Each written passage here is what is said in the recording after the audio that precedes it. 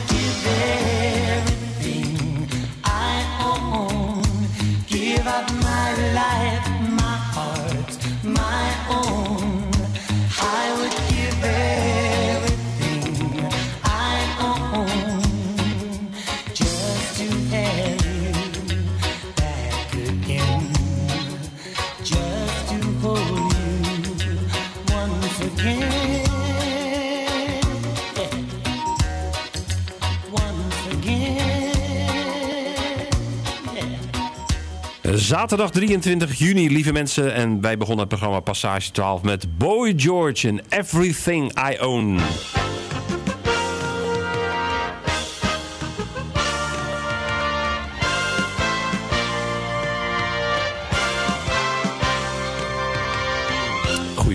Wat gaan we vandaag allemaal doen in Passage 12? Nou, u wil het niet weten. We hebben wel een vol spoorboekje. We gaan zometeen afscheid nemen van juffrouw Ank Hartendorp. Nou, wie kent haar niet? Het laatste wat ze gedaan heeft is de kring, maar daarvoor heeft ze nog veel meer gedaan. We gaan praten met Elvira Schenk. Zij is een bewoonster van de Ludwinastraat. Wat is daar nou aan de hand met die wateroverlast? Het gaat maar niet over en het duurt maar en het duurt maar. Zij zal het ons uitleggen en we gaan praten het eerste uur met John van Gestel. Hij gaat onder andere praten over het verdwijnen instituut Sociale Raadslieden. Klachten van de DCMR wat de vliegtuigen betreft en nog veel meer dingetjes. In het tweede uur Frans Eikenbroek brandersfeesten. En tenslotte politiek doen we met mevrouw Gerry de Bel. Zij is van Leefbaar Schiedam, Schiedam actief. Dit is een nieuwe aflevering van Passage 12. Ik heb zo hele grote zorgen. Ik denk,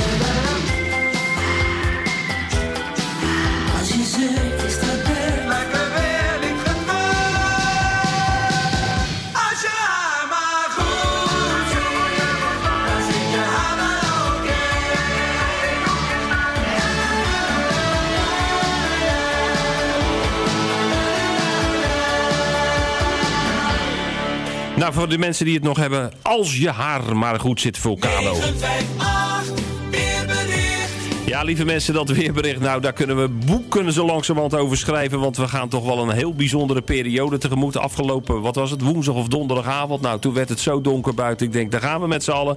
Maar goed, een half uur later schijnt dan weer vrolijk de zon. Ik denk dat het voor weer vrouwen en man, mannen smullen is. We gaan het vragen aan onze eigen weerman Tom Ruin. Tom, goedemorgen.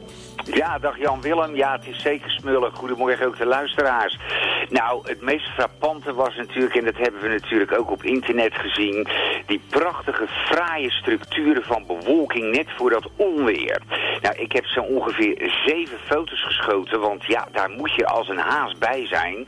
Want eh, ja, als je daar even te lang mee wacht, dan is het karakteristieke wolkenpatroon alweer veranderd. Nou, dat, he- dat heeft zich ook voorgedaan in, eh, in onze omringende regio's, maar ook met name ook in Utrecht, waar het werkelijk zo pikzwart werd dat het gewoon nacht was. Nou ja, het is daar dan ook werkelijk, eh, in Nieuwegein is het ook eh, heel vervelend voor de mensen uitgepakt. Want uiteindelijk is de bliksem daar in vitale transmitterhuisjes of transitohuisjes geslagen. Waarbij dus iedereen eh, in de ellende zat. Nou, inmiddels is dat gelukkig allemaal weer verholpen. Nou, bij ons viel het ook wel wat mee. Vooral wat betreft de windstoten. Je kunt dat nooit allemaal precies per plaats bepalen. Er moet echt voor gewaarschuwd worden. Maar ik denk wel, de mensen die die lucht hebben gezien, dat dat toch bij sommigen wel angst aanjoeg. Nou, vandaag een redelijke dag. Wel koel, maar droog. Er staat een vrij straffe zuidwestenwind, 4 tot 6 boven. Er zijn ook wolkenvelden en de zon is te zien. En de temperatuur ligt zo'n 19 graden. Vanavond is de bewolking zo dik dat er wat regen uit kan vallen. En vannacht komt vanuit het westen de meeste regen opzetten. Morgen overdag is een heel ander verhaal. Het regent een hele tijd lang. Pas later in het westen kunnen wat opklaringen komen. Daartussendoor is het waarschijnlijk wel eens even droog. Maar ja jongens, met 16 tot 18 graden is het behoorlijk fris in die regen. En er staat ook een harde zuidwestenwind 6 tot 7 boven. We worden beheerst door depressies die voortdurend van west naar oost trekken.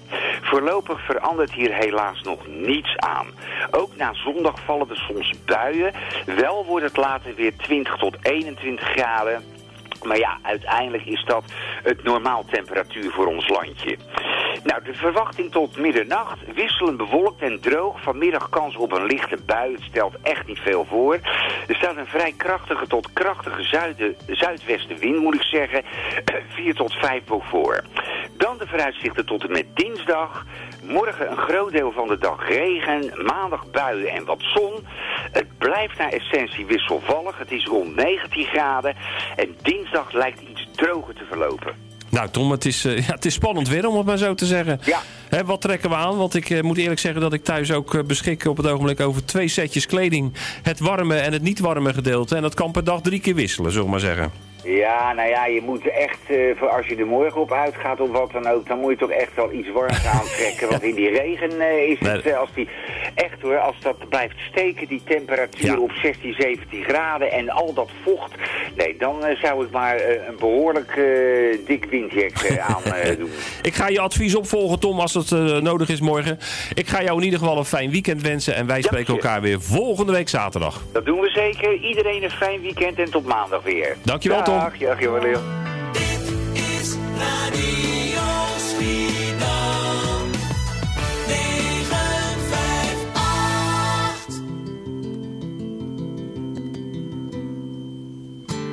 I spent my time watching the spaces that have grown between us, and I cut my mind on second best. All the scars that come with the greenness, and I gave my eyes to the boredom. Still, the seabed wouldn't let me in, and I tried my best to embrace the darkness in which I swim.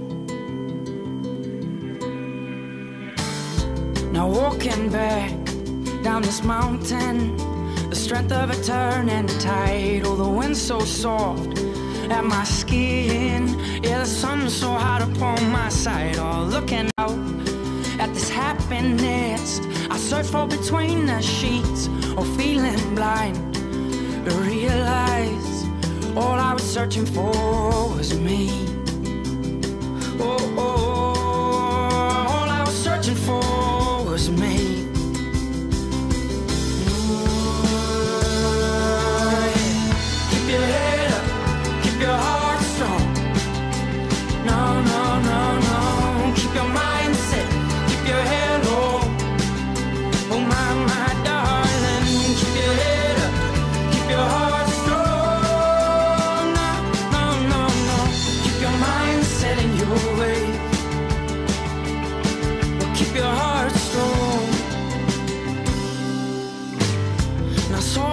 Friend of mine the other day, and he told me that my eyes were gleaming. Oh, I said I'd been away, and he knew, oh, he knew the depths I was meaning, and it felt so good to see his face, all the comfort invested in my soul, or to feel the warmth of his smile when he said, I'm happy to have you home.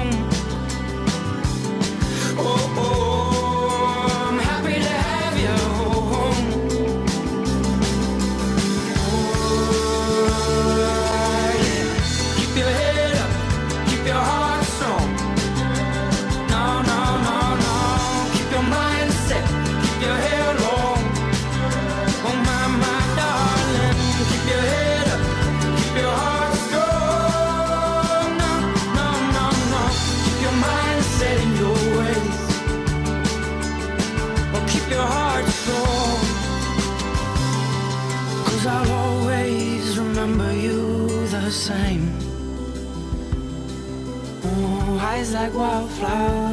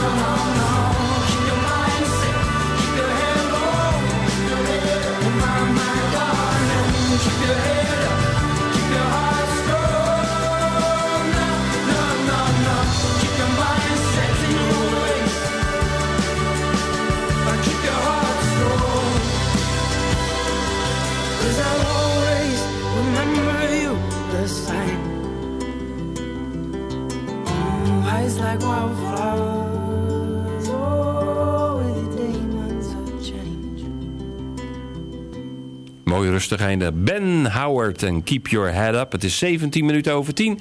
U kijkt, u luistert naar Passage 12 op Radio Schiedam Loek TV. En onze eerste gasten heeft eh, plaatsgenomen tegenover mij. Juffrouw Ank. Goedemorgen. En een goedemorgen. Ja, dat juffrouw Ank, hè, dat, dat zal uw hele leven u blijven achtervolgen, hè? Ja, zo ongeveer wel, ja. Ja. Dat heb ik toch al heel wat jaren gehoord. Ja, is, is dat, eh, is dat eh, moeilijk om daar los van te komen ah, wanneer je thuis komt... om dan niet meer juffrouw Ank te zijn? Om dan weer gewoon Ank te zijn? Dat is geen probleem hoor, om Nee? die overgang te maken. U schakelt eh, gewoon eh, gelijk in één keer over. De hele omgeving om mij heen, die noemt mij gewoon Ank. En dan is dat juf weg. Oké, duidelijk. Nou, u gaat afscheid nemen. U bent Ja. eh, heel lang in het onderwijs geweest. Ja, en dat vinden wij altijd belangrijk om daar toch een beetje aandacht aan te besteden. Ehm, waar bent u geboren eigenlijk? Bent u hier in ik de ben regio? in Schiedam geboren, in de Goors. De Eendrachtstraat. Ja. Nou, dat is allemaal, eh, bestaat niet meer, hè, tegenover het voormalig eh, Gusto-terrein. Mhm. En ehm, opgegroeid verder in de Goorzen. En daarna naar Rotterdam verhuisd. En na jaren toch weer terug eh, naar Schiedam gekomen. Heimwee naar de Goorzen? Eh, ja, dat blijft altijd een bijzondere plek. Ja, ik blijf het een leuke gemeenschap vinden. Een leuk gebied, ook een woongebied wat, eh, waar ik met plezier kom. Mhm. Ja. En de Maas die er is, de Nieuwe Waterweg, ik vind het prachtig. Kunt u uitleggen aan, aan Schiedammers die niet in Schiedam-Zuid of in de Goorzen wonen... wat nou die aantrekkingskracht is? Waarom mensen toch weer terug willen? Het is toch een, eh, een, een gemeenschap op zich. Het is een, eh, een eiland van Schiedam. Mhm. Het is een, eh, een kern van mensen die, eh, ja, die toch een gerichtheid op elkaar hebben. Die meer is dan volgens mij in andere woongelegenheden. Andere woonplekken. Ja, ja. Ehm, toen u jong was, eh, bent u zelf naar de basisschool geweest. Toen heette Ja. het nog lagere school. Waar Ja. heeft u zelf gezeten? Ja, in de Dwarsstraat in, eh, in de Gorsen. Ja, ik zou dus de naam van de school niet meer weten. Nee. Het was een, eh, een katholieke meisjesschool. Ja. Ik heb echt tot en met de... Tot de pabo heb ik alleen nog maar met meisjes in de klas gezeten. Dat was zo toen. ja. Eh, dus daar heb ik eh, op de lagere school gezeten. Ja. Bestaat ook niet meer. Nee. Er worden trouwens nog wel eens pogingen gedaan hè, om die jongens en de meisjes, met name in het lager onderwijs, weer van elkaar te scheiden. Eh, zou u daar een voorstander van zijn? Nee, daar ben ik geen voorstander van. Ik, ik ben, vind het juist zo leuk om allerlei talenten, verschillen van mensen bij elkaar te hebben... en om Ja. van elkaars krachten gebruik te leren maken. Dus Ja. Ik kan me wel voorstellen dat, eh, dat je op een gegeven moment delen sorteert op talenten, zeg maar, of op interesses. Daar kan ik me wel iets bij voorstellen. Maar ik zou het jammer vinden als, eh, als andere dingen onthouden worden door eh, het weer apart te gaan doen. Ja. Nee, want toen ik op de. ehm, eh, ik ben begonnen in speciaal onderwijs. Het was ook een hele bewuste keus. Maar na een half jaar, ik ben daar begonnen met een groep van acht, negenjarigen in Vlaardingen. Toen na een half jaar is daar de leerkracht eh, van de huishoudgroep. Toen was het nog eh, zo dat er geen eigen school was voor voortgezet onderwijs. Voor kinderen die moeilijker konden leren. En niet het niveau hadden om naar een eh, technische school of naar een huishoudschool te gaan. Die werden op die kernafdeling werden ze gehouden tot een jaar of twintig. En werden dan naar werkplekken begeleid. Nou, na een half jaar dat ik op die school was, was de leerkracht van die huisartsklas werd overspannen. En ehm, er werd mij gevraagd of ik die groep wilde overnemen. Nou, dat heb ik gedaan. Eh, maar dat was nog gescheiden. Een huisartsklas aan het einde en een arbeidsklas. Ja. Nou, ik wilde het doen, maar ik heb wel toen echt met Jan de Rooij afgesproken van... Jan, ik wil echt zo snel mogelijk bepaalde lessen samen. Ja. Ik vind dat echt helemaal niks, Ja. dat waarom, gescheiden. waarom bent u eigenlijk in het onderwijs gegaan? Ja, dat is eigenlijk al vanaf eh, de basisschool dat dat eh, met regelmaat naar boven kwam. Ja. Toen is het weer uit mijn beeld gegaan. Op een gegeven moment vond ik het ook weer te lang eh, studeren. Toen had ik daar geen zin meer in. Maar eigenlijk is het pad toch gewoon gegaan. Mhm. Ja. Zoals ik dat wilde. En ben ik toch in het onderwijs terechtgekomen. Ja. Na dat speciale onderwijs bent u naar de wegwijzer gegaan. Ja, ja. School die nog steeds bestaat, wel Ja. met, eh, weliswaar met een andere Ja. naam. Het Ja. eh, ILEC, nee, het eh, Nova, Pro ja, Nova Pronova College. College. Ja. Wat. Was, wat, was u, wat was dat voor periode dat u daar zat? Wat, wat gebeurde daar toen allemaal? Nou, dat was dus voor het eerst een, een regionale school voor kinderen vanuit Schiedam, Vlaardingen en Maasluis. Die eh, een eigen plek hadden om gewoon, net zoals andere kinderen naar het voortgezet onderwijs te gaan, ook een eigen status te hebben. En een eigen aanpak, wat er toch anders is dan ja, wanneer het gerelateerd is aan een basisschool. Om daar gewoon een eigen plek te hebben, hun eigen ding te leren. En eh, nou, die school moest opgezet worden. Eh, dat heb ik vanaf het begin aan eh, meegedaan. En dat is hard werken geweest om daar ja, eerst toch weer dat, dat pedagogische klimaat zo te krijgen... dat veiligheid gegarandeerd wordt. En dan uiteindelijk uit te bouwen tot eh, ja, geschikte lessen... die voor deze kinderen van belang zijn. Want ze moeten zichzelf kunnen redden in de maatschappij. Ja. En je hoopt ook dat zoveel mogelijk kinderen eh, een werkplek krijgen. Dat werd ook altijd eh, als een groot onderdeel van de school beschouwd... om kinderen te begeleiden naar die werkplek. heb ik ook jaren gedaan. En ja, het was gewoon heel leuk om daarmee bezig te zijn. Ik vond het echt een waanzinnige tijd. Ja. En toevallig ben ik pas nog op bezoek geweest. Dat is twee weken geleden. Eh ben ik eh, samen met eh, de toenmalige directeur, Marjan de Graaf... hebben we een rondleiding gehad. En het was wel heel leuk om dat weer te zien. Want er is intussen natuurlijk wel ver- wat het een en ander veranderd. Ja, wat is er precies veranderd? Nou, sowieso het aantal leerlingen. Toen ik er was, waren het tot, ja, we zijn met 60 begonnen. Hooguit eh, 75 eh, was het einde. En nu zijn het, is het een school met meer dan 300 leerlingen. Ja. Dus dat vraagt nogal wat. Dat vraagt wel veel van de mensen. het vra- de groei is ook snel gekomen. Dus dat betekent ook dat je een tijd eh, moet, moet overbruggen met mensen die eigenlijk nog een stukje groei moeten meemaken. Omdat het allemaal heel snel zich ontwikkelt. Het gebouw is intussen aangepast. En ja, er zijn gewoon leuk, goede mogelijkheden voor veel kinderen. Ja. Denkt u dat er een verschil is tussen docenten of leraren of onderwijzers, hoe je het noemen wilt, op zo'n school als de Wegwijzer, waar je, waar je toch met een ander soort kinderen werkt dan een standaard basisschool? Ja, dat vond ik het leuke. Eh, nou, eerst even antwoord geven op de vraag. Eh, ik denk dat er heel veel mensen in het basisonderwijs zijn... die de capaciteiten hebben die nodig zijn voor dat soort scholen. Want toen ik in 1999 op de basisschool kwam... waar ik weinig ervaring mee had... eh, toen was wel het, het item vanuit de regering weer samen naar school. Ja. En het was natuurlijk heel leuk dat ik die bagage had. Een groot scala, paraplu aan, aan kennis over kinderen. En gerichtheid eh, naar kijken naar kinderen. En we kijken wat ze nodig hebben. om te kijken samen met de mensen die er waren... Van, eh, wat, hoe kunnen we dat vormgeven op een basisschool. Ja, En dan zie je toch dat mensen heel erg in staat zijn om te leren. ja. En dat is leuk om te zien. Is die docent, hè? is die veranderd in de loop der jaren? Toen u begon eh, had je een bepaald soort docenten. Nu heb je andere, jongere docenten. Wat is in uw opinie het grote verschil tussen de docent van toen en die van nu? Nou, ik denk dat niet zozeer zou ik verschillen in docenten willen neerzetten... als wel verschillen in wat mensen nodig hebben geleid. Ik vind wel dat, en toen ik begon, had je toch meer de tijd om te leren. Tijd om te groeien daarin. En eigenlijk als je kijkt naar eh, wat een, een, een leerkracht doorsnee direct moet kunnen... dat vind ik wel meer, meer dan dat ik eh, in mijn tijd eh, nodig had. Ja. Is het onderwijs leuker geworden? Eh, is het onderwijs leuker geworden? Ja, ik denk wel. Nou ja, ik, ik heb het altijd leuk gevonden. Dus Maar vanuit het oogpunt van de leerling? ja, dat snap ik. Eh, ik. Ik kan het dus niet zo vergelijken naar basisschool en nu basisschool. Ik kan het vergelijken vanuit speciaal naar nu basisschool. En ik denk wel dat je als leerkracht met mogelijkheden... veel meer jezelf kan, eh, kan gebruiken, alles in kan zetten... wat je zelf in huis hebt, dan dat, je dat, dan dat daar vroeger naar gevraagd werd. Ja. Maar goed, dat betekent ook dat het voor sommigen ook lastiger is om aan die eisen te voldoen. Want ik vind dat eisenpakket toch wel hoog liggen. Ja, denkt u dat, Ja. dat een hoop docenten daar toch wel last van hebben van dit moet en dat moet? Ja, dat denk ik wel. De druk is groot. Ja. Ja. U heeft eh, uw carrière, of althans u gaat uw carrière afsluiten in Schiedam-West bij eh, De Kring. Ja. Leuke school met Ja. meester Erik van Kampen. Ja. Wie kent hem niet? Ehm, u komt zelf uit Schiedam-Zuid. Wat, wat is het verschil in sfeer tussen Schiedam-Zuid en West? Wat de kindertjes meebrengen? Ehm, wat ik net over de Gorsen zei, dat is één gemeenschap. Dus je hebt kinderen, je hebt ouders en alles is één. Dat is direct betrokken. Ja. Eh, als je kijkt naar eh, de kring, dan is dat ehm, een zeer gevarieerd publiek. Je kan het aan de huizen zien. Er is van alles en nog wat eh, in de buurt wat er aan huizen staat. En dat neemt mensen mee die ook weer verschillend zijn.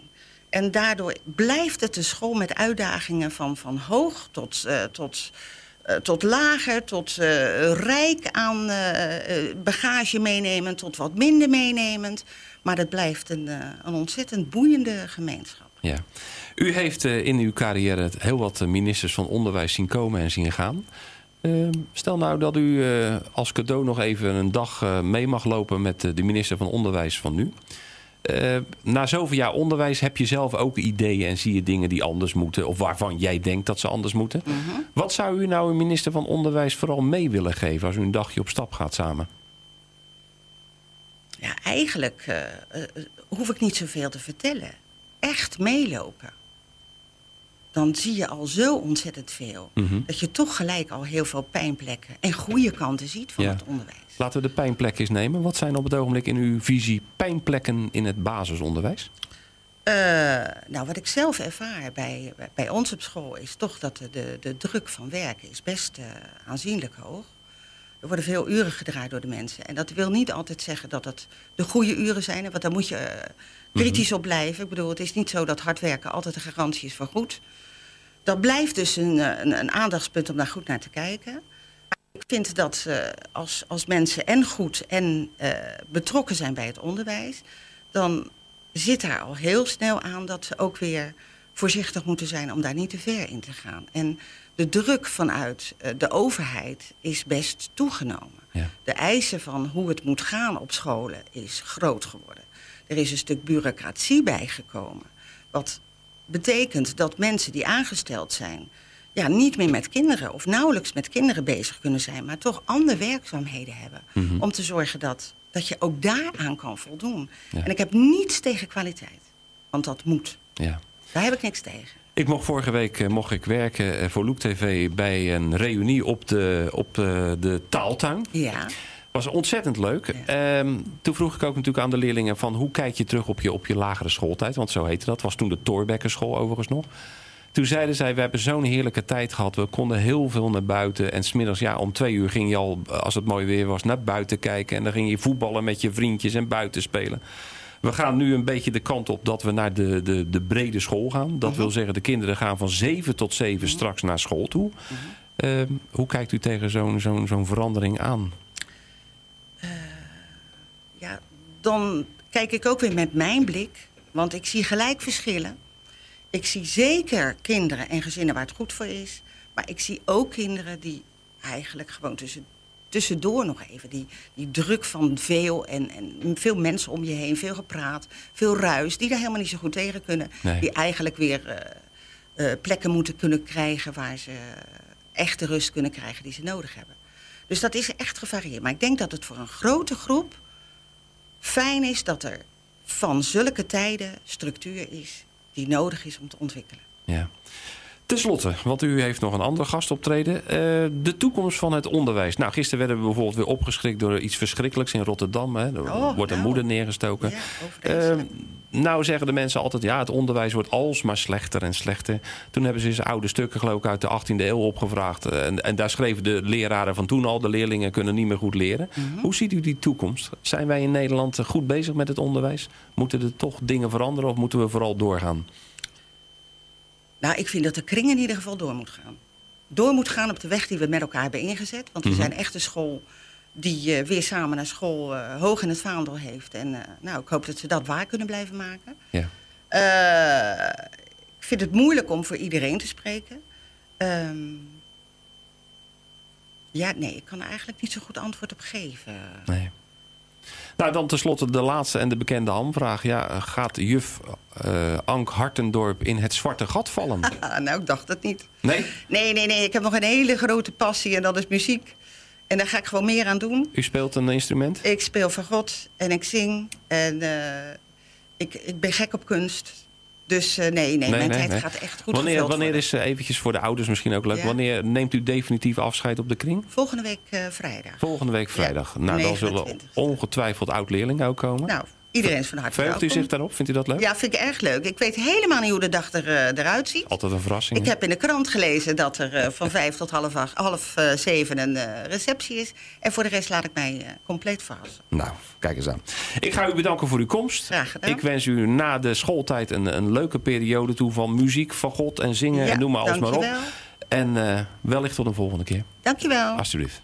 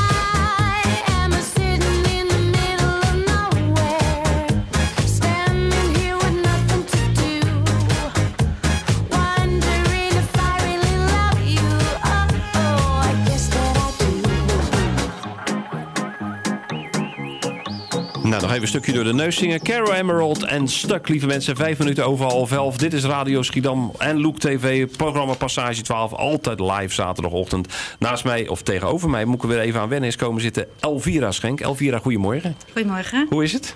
Ja, Ja, nu wel goed, hè? Ja, soms verschrikken mensen altijd als ik zeg hoe is het. Elvira, we hebben je natuurlijk niet uitgenodigd om te praten hoe het met je is. Hoewel ik altijd blij ben dat het met iedereen goed gaat. Want zo moeten we toch uiteindelijk in elkaar steken. Ehm, jij komt uit de Ludwinastraat. En ik lees al een aantal weken lang eh, over de Ludwinastraat over wateroverlast. Nou werkt dat, ja, je leest dat en dan vergeet je het weer. En toen dacht ik van, dat blijft ook maar duren. Toen dacht ik, nou weet je wat, ik bel je gewoon op... en ik vraag of je aan ons eens uit komt leggen, eh, aan de kijkers van Loek TV... van, wat is er nou aan de hand in de Ludwinastraat? Ja. Nou ja, het is helaas veel breder dan die Sint-Litwinastraat. Het is eigenlijk heel Schiedam-West. Mhm. Hè, Dus Smalenveldstraat ook heel veel, Aleidastraat, Van Beverenstraat. En het is ook heel, heel lang, dus het gaat niet om weken. Nee. Maar eh, ik heb het, eh, of wij maken het bewust mee, zeg maar, sinds 2008. Ja. Maar Toen wat, we- wat is er aan de hand? Nou, 2008 eh, zijn de eerste ja, echte overstromingen gekomen. Dus dat betekent dat wij hebben souterrainwoning. Mhm. En er zijn wel meer mensen in de Sint-Litwina-straat. Ja. En sommige mensen hebben dus de problemen vooral in de kelder. Maar dat betekent dat eh, via de riolering, eh, dus via je doucheput of via de wc of via het bad, komt het water gewoon omhoog. Ja. En in zo'n tempo dat je er ook helemaal niks aan kan doen. Nee. En zeker niet als je, vanaf, eh, als je niet thuis bent. Hè? Dus daarom hebben ook heel veel mensen, als ze een avond weg zijn geweest of Mhm. zelfs op vakantie. Nou, dan vind je daarna dat er een laag water in je huis heeft gestaan. Ondertussen misschien wat weggezakt is. Of nog steeds staat. En ook vies water, zeg maar. Ja. Nou, en die ellende is begonnen voor ons gevoel het eh, vanaf 2008. Ja. En dat, eh, ja, dat, is, dat is schrikken. En de eerste keer denk je van eh, het is te ja, het is erg, maar daarna verzekering, Mhm. kan het verholpen worden, et cetera. Nieuwe spullen, stomerij, allemaal dat soort dingen. Maar op een gegeven moment blijkt dus dat het vaker voorkomt. Ja. En dat het eigenlijk iets structureels is. En nu ben je inmiddels zo met elkaar dat je, als je denkt van... oh, het gaat weer behoorlijk gieten, zoals donderdagavond Nou. was toen die weersverwachting. Nou, dan ga je liever niet weg. En Nee. dan ben je in ieder geval thuis. En dan zou je op dat moment kunnen gaan hozen. Maar dat is natuurlijk wel raar. En er zijn nu ook mensen die zeggen van... nou, deze zomer eh, durf ik niet eh, weg te gaan. Nee. Want eh, het schiet niet op. Want dit is te erg, zeg maar. Nou is het natuurlijk zo dat, wat je zegt, ja, het kan incidenteel een keer gebeuren. Maar vanaf 2008, dus dat is niet meer, dat is gewoon structureel. Eh, ja, riolering, dan kom je bij de gemeente terecht. Is er in 2008, zijn er al pogingen gedaan om, om dat bespreekbaar te maken? Ja, zeker. En toen zijn er ook metingen geweest van... eh, dat heeft dan met grondwaterstand natuurlijk Ja. te maken... waar eh, de gemeente sowieso verplicht is om dat op een bepaalde hoogte te brengen. Ja, dan blijkt bijvoorbeeld de souterrain of de kelder lager te liggen. Mhm. Dus daarmee was eigenlijk toen een beetje de kous af voor Ja. de gemeente. Nou, naderhand blijkt dan dat ze, de gemeentes in 2008 ook een wettelijke zorgplicht hebben. Dus dat zij ook te maken hebben met dat het wel degelijk... de, Ja. de, de, de, de combinatie eigenlijk, want daar hebben we vooral mee te maken... van hemelwater, zoals ze dat dan noemen, en dat grondwater Grondwater, ja. dat dat niet zijn weg in de huizen mag vinden. Hè? Dat, dat, dat dat in ieder geval eh, dat de gemeente daarvoor verantwoordelijk is, dat dat een, zijn goede weg vindt. Ja. En eh, dat die overlast er niet meer is. Nou, dat bleek achteraf, maar toen hebben we eigenlijk een brief gekregen van, ja, er zijn metingen gedaan en eh, ja, u heeft eh, te- helaas een te laag huis gekocht. Daar komt het op neer. Ja. En ehm, andere problemen, zoals bijvoorbeeld, eh, we hadden toen ook wortels door ons rioleringssysteem.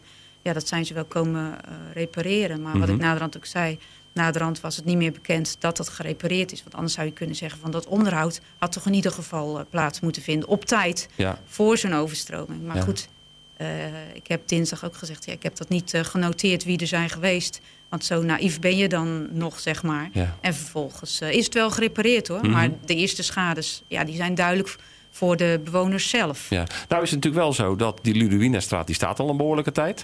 Ehm, voor 2008 was ja, was toen- er ook wel hoor. Ja, schijnbaar wel. Maar wij wonen er tien jaar. En eh, nou, de slager is bijvoorbeeld eh, iemand die daar ook heel de geschiedenis kent. Ja. En eh, die geeft ook aan van, ja, dat er wel degelijk al eerder ook sprake was. Iets van, ik geloof, 15 jaar of 20 jaar geleden. Ja. En dat er toen ook wel een hele grote actie is georganiseerd.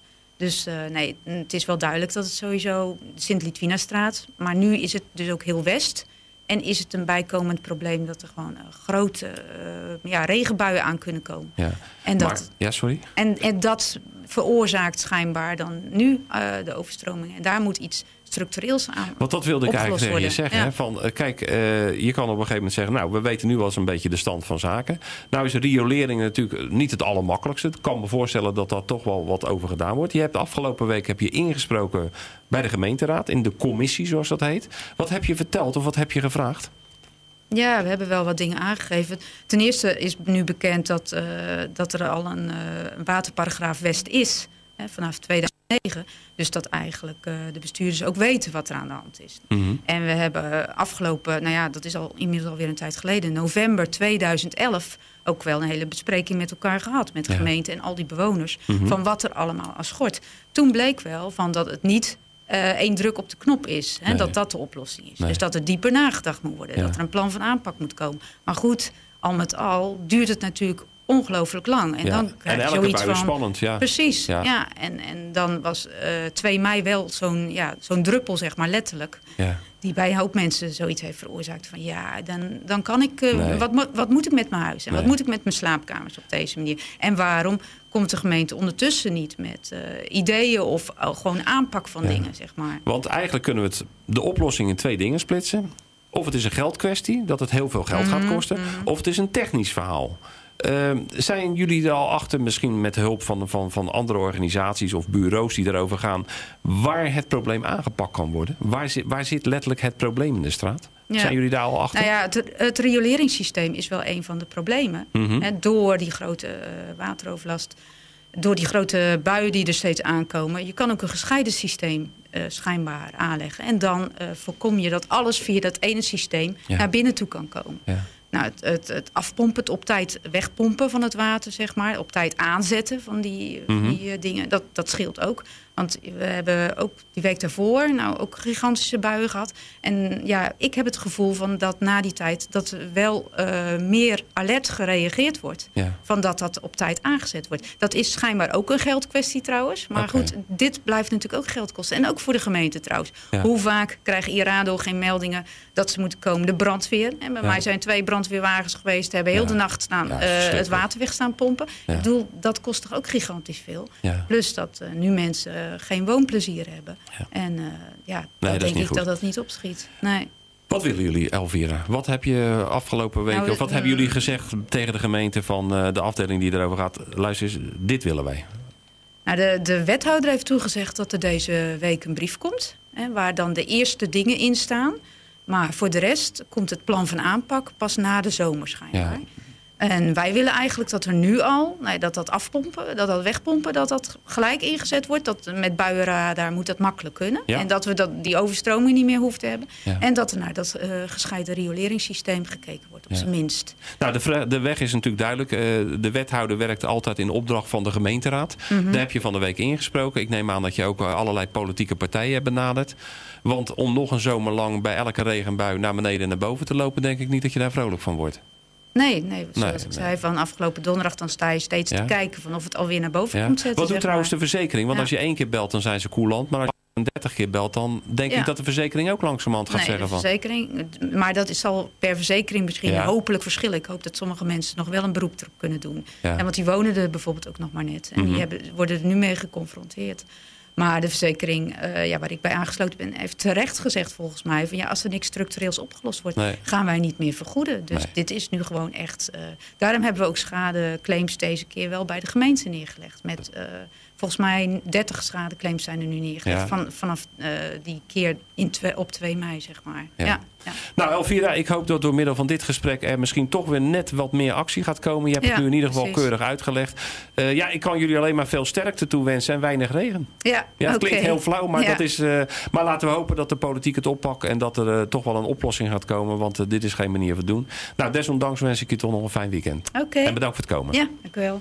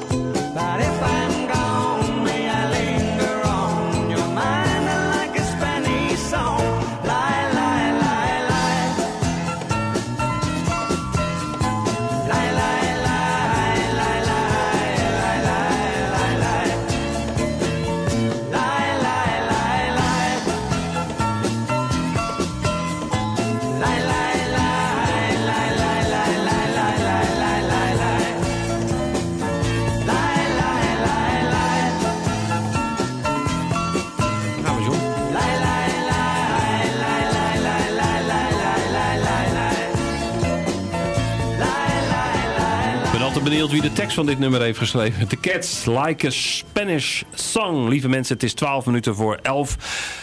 Tegenover mij is aangeschoven de heer Van Gestel, John van Gestel. Hij is eh, de- het opperhoofd van het SOBO en eh, doet daarbij nog andere dingen. Soms tot tevredenheid van de mensen en soms niet tot tevredenheid. Maar eh, desondanks altijd wel wat te melden. Meneer Van Gestel, goedemorgen. Welkom in het programma. hele is dat, is, is dat om die haringen te laten zwemmen? Nou, die waren gisteren. Ah, die heb je gisteren gedaan. Ehm, eh, u gaf aan, eh, u wilde praten over een paar dingen die u zorgen baart. Ja, ik praat even de u-vorm, want dat vind ik wel Nee, zo ja, netjes. maar- maar- Ehm, we hebben in Schiedam een instituut sociale raadsleden. Nou ging ik afgelopen week... Nee, raadslieden. Raadslieden, de I staat er, maar niet uitgesproken. Ehm, nou ging ik afgelopen week eh, opnames maken voor wethouder van Oost. En toen gingen we het kantoor binnen en daar werden ook handtekeningen ingezameld. Want de raadslieden maken zich zorgen. Er komen bezuinigingen aan en zouden zij wel niet wegbezuinigd worden? Wat is dat nou voor instituut? Instituut Sociale Raadslieden, wat doen zij? Nou, het is zo, wij hebben bij eh, de woonzorgwinkel hebben we de rechtswinkel zitten. Als die mensen het niet weten, dat is allemaal een lui een opleiding. Dan kan je gaan naar het instituut Sociale Raadslieden. En dat zijn allemaal gerenommeerde advocaten. Die doen dat gratis voor de onderkant van de samenleving. Dus heb je een probleem, wat voor probleem, maakt niet uit. Meestal gaat het over geld. eh, woningbouwcoöperaties zijn problemen, de gemeente. En die helpen jou om ten eerste het probleem te analyseren. Kijken wat er aan gedaan kan worden. Of het niet jouw probleem is, of het totale probleem. En dat doen hun. Dat doen hun zo adequaat, dat ze eigenlijk bij de gemeente. Als je daar komt met de sociale raadsman... dan wordt er toch wel even wat meer aandacht aan geschonken... als dat je zelf komt. Ja, even Laat ik het even zo zo vertellen. Ja, het is niet een organisatie dat eh, elk probleem, of je het nou zelf hebt veroorzaakt, dat dat even eh en passant opgelost wordt. Hè? Dat, dat, dat- die, die bestaat Die bestaat dus niet. Nee. Maar waarom denkt u nou dat er moet bezuinigd worden? Eh, kan dat betekenen dat er weinig vraag naar is? Of zegt u van je zou eens een, een dag moeten komen kijken? Nou, ik denk dat je een dag moet komen kijken. Wij hebben in de woonzorg hebben we 80 mensen per week die problemen hebben. Die sturen we dan door bij ons naar de mantelzorg. Die sturen we naar de rechtswinkel. En van de rechtswinkel, die 20 problemen die ze hebben daar... dan gaan er dan weer drie, vier gaan er naar de- het instituut Sociale Raadsleden. Ja, wat zijn nou een beetje de problemen die, waar mensen mee komen? De problemen zijn hoofdzakelijk eh, financieel. Mensen moeten kunnen één keer rechtgezet worden. Dus dat je dan een schuldssanering krijgt één keer. Problemen met, eh, met, eh, met je huisbaas of je particuliere verhuurder. Of met eh, de sociale verhuurders die je in Schiedam hebt. Ja. Nou, en, en problemen met de gemeente. Erfafscheiding, erfpacht en dat soort dingen. Ja. Dus heel divers. Ja. Zitten zij bij u op de singel in het pand van het Sobo? Of hebben ze een eigen onderkomen? We zitten bij het UVW, zitten ze, de roltrap op bij het stationsplein. Wij hebben besloten, het SOBO, mocht het zo zijn dat het daar te duur is... dan kunnen ze bij ons gratis op de single kunnen ze erbij. Want ze hebben maar een beperkt aantal spreekuren, meestal s'avonds. Ja. Hebben ze dus, voor ons is het niet zo'n probleem. Dus u zegt met andere woorden, die huisvestingkosten... die kunnen we opvangen door ze gewoon bij ons in het pand te nemen? Ja hoor, dan, dan, wij hebben dat pand toch. En of Ja. het pand nou heel veel gebruikt wordt of minder, Ja. Liever heel veel. Daar stonden ze zoals gezegd van de week handtekeningen eh, te verzamelen. Hadden heel veel handtekeningen. Eh, hoe groot acht u de kans dat zij toch eh, het loodje gaan leggen? Of zegt u van nou, dat kan best nog wel eens meevallen? Dat weten we niet. We hebben namelijk die zomernota gehad, waar niets in stond. Wat ik verteld heb, dat is de slechtste zomernota die ik ooit gezien heb. Waarom? Waarom? Omdat er niets concreets in staat. Maar dat staat toch nooit in een zomernota? Ja, wel. Er staat norma- normaal wel aan welke kant ze gaan bezuinigen. Ze zeggen wel, we gaan naar, naar, meer naar de burgers moeten doen. Die moet meer doen en die. En dan vraag ik aan jullie, ja, wij moeten bezuinigen. Nee, je doet iets met z'n allen. Oké. En die bezuinigen ook. Dus Nou hadden we een aantal puntjes, dus ik moet er even een beetje krachtig doorheen. Ehm, ja, er vliegen vliegtuigen over. Dat mag allemaal overdag, als ze het normaal doen. Maar eh, ik meen eh, voor 7 uur s ochtends en na 11 uur s avonds... dan moet je daar vooral niet gebruik van maken, want dan mag het niet. Wanneer je daar klachten voor hebt, dan ga je naar de DCMR. En dat gaat veranderen. Nee, je krijgt namelijk een nieuwe. Je hebt een CLMR, heb je, of commissie 28 uit de luchtvaartwet. Die gaat over naar een nieuwe KRO. Daar komen al die nationale vliegvelden komen daaronder. We hadden vroeger een budget voor 146.000 euro.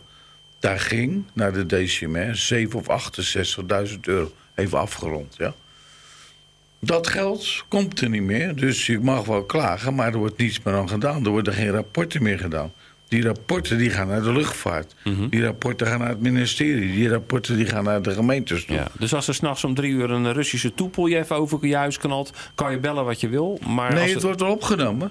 Alleen, er wordt niks mee gedaan. nou kijk, en dat vinden wij heel slecht. En wat moet, de, wat moet de oplossing worden? De oplossing moet worden dat er een nieuwe KRO komt. Of een BRR, een bestuurlijke Rot Rotterdam. Dan kan je nog je klachten kwijt. Daar wordt opgevolgd. En dan gaat de gemeente kijken wat er moet gebeuren. Dat is de gemeente Rotterdam.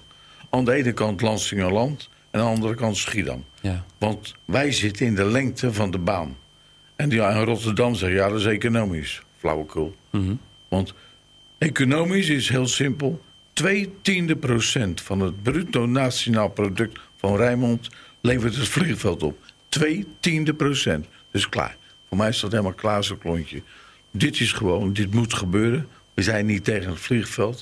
Er wordt nu een slaapverstoringsonderzoek wordt er gehouden. Mensen, als jij in je remslaap zit... Dat is je eerste slaap en dan komt er eentje over... dan duurt het wel drie, vier uur voordat je weer in slaap bent. En s'morgens als je om vijf uur overkomt, dan ben, je, dan ben je al klaar om 18 naar je werk te gaan. ja? Ja. Oké, maar moeten we daar ons zeer grote zorgen over maken? Zegt u van, daar zijn we hard mee bezig? Wij, wij dus de, al die gemeentes, die zijn er bezig. En die burgers ook. Want ik ben uitgekozen met meneer Kleijsen... om Schiedam te vertegenwoordigen als burger. Dus je hebt Schiedam, heb je, je hebt Lanstingerland aan twee kanten... en heb je Overschie en je hebt eh, Schiebroek en Hilgersberg. Oké. Nou, die hebben het meeste last van het vliegveld. Ja. En dan willen ze nu gaan doen dat heel Rotterdam... ja, die heb er geen last van. Want als je op Zuid woont, hebben ze er helemaal geen last van. Nee. Dus ja, ga maar verder. Ja, ik wil, ik wil zeggen, we moeten even de tijd Ja, nee, inhalen. doe- Laatste onderwerp. U maakt zich grote zorgen. En dan hebben we het over, eh, ook weer over de bezuinigingen, de zomernota. eh, over eh, ja, de verhouding vrijwilligers en beroepskrachten. U zegt van ja, dat is allemaal wel hartstikke goed, die beroepskrachten eruit gooien. Maar dan gaat het ook niet goed komen. Nee, tuurlijk niet. Want we gaan naar burgerkracht toe. Hè. Er moet Ja. meer uit de burgers komen. Maar de weg daar naartoe, zegt u van, die vind ik niet jovel. Nou, ik ben eens dat je moet bezuinigen. Allemaal, klaar. En dan burgerkracht, dat gaan dan de mensen zelf doen. Maar die moet je eerst trainen. Dan moet je eerst afspraken maken. Wat is er nu gebeurd? Nu hebt de gemeente een nota geschreven. Zonder daarin de burgers te, te erkennen en te bekennen.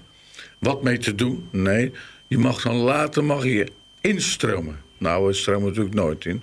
Als we iets gaan doen, gezamenlijk, waar dan de professionals weggaan, dat wij dan de professionals moeten worden, die mensen. Die hebben hier ook wat te vertellen. Want wij gaan niet doen wat hun zeggen. Wij dansen niet naar de pijpen van de gemeente. We zijn geen marionetten van de gemeente.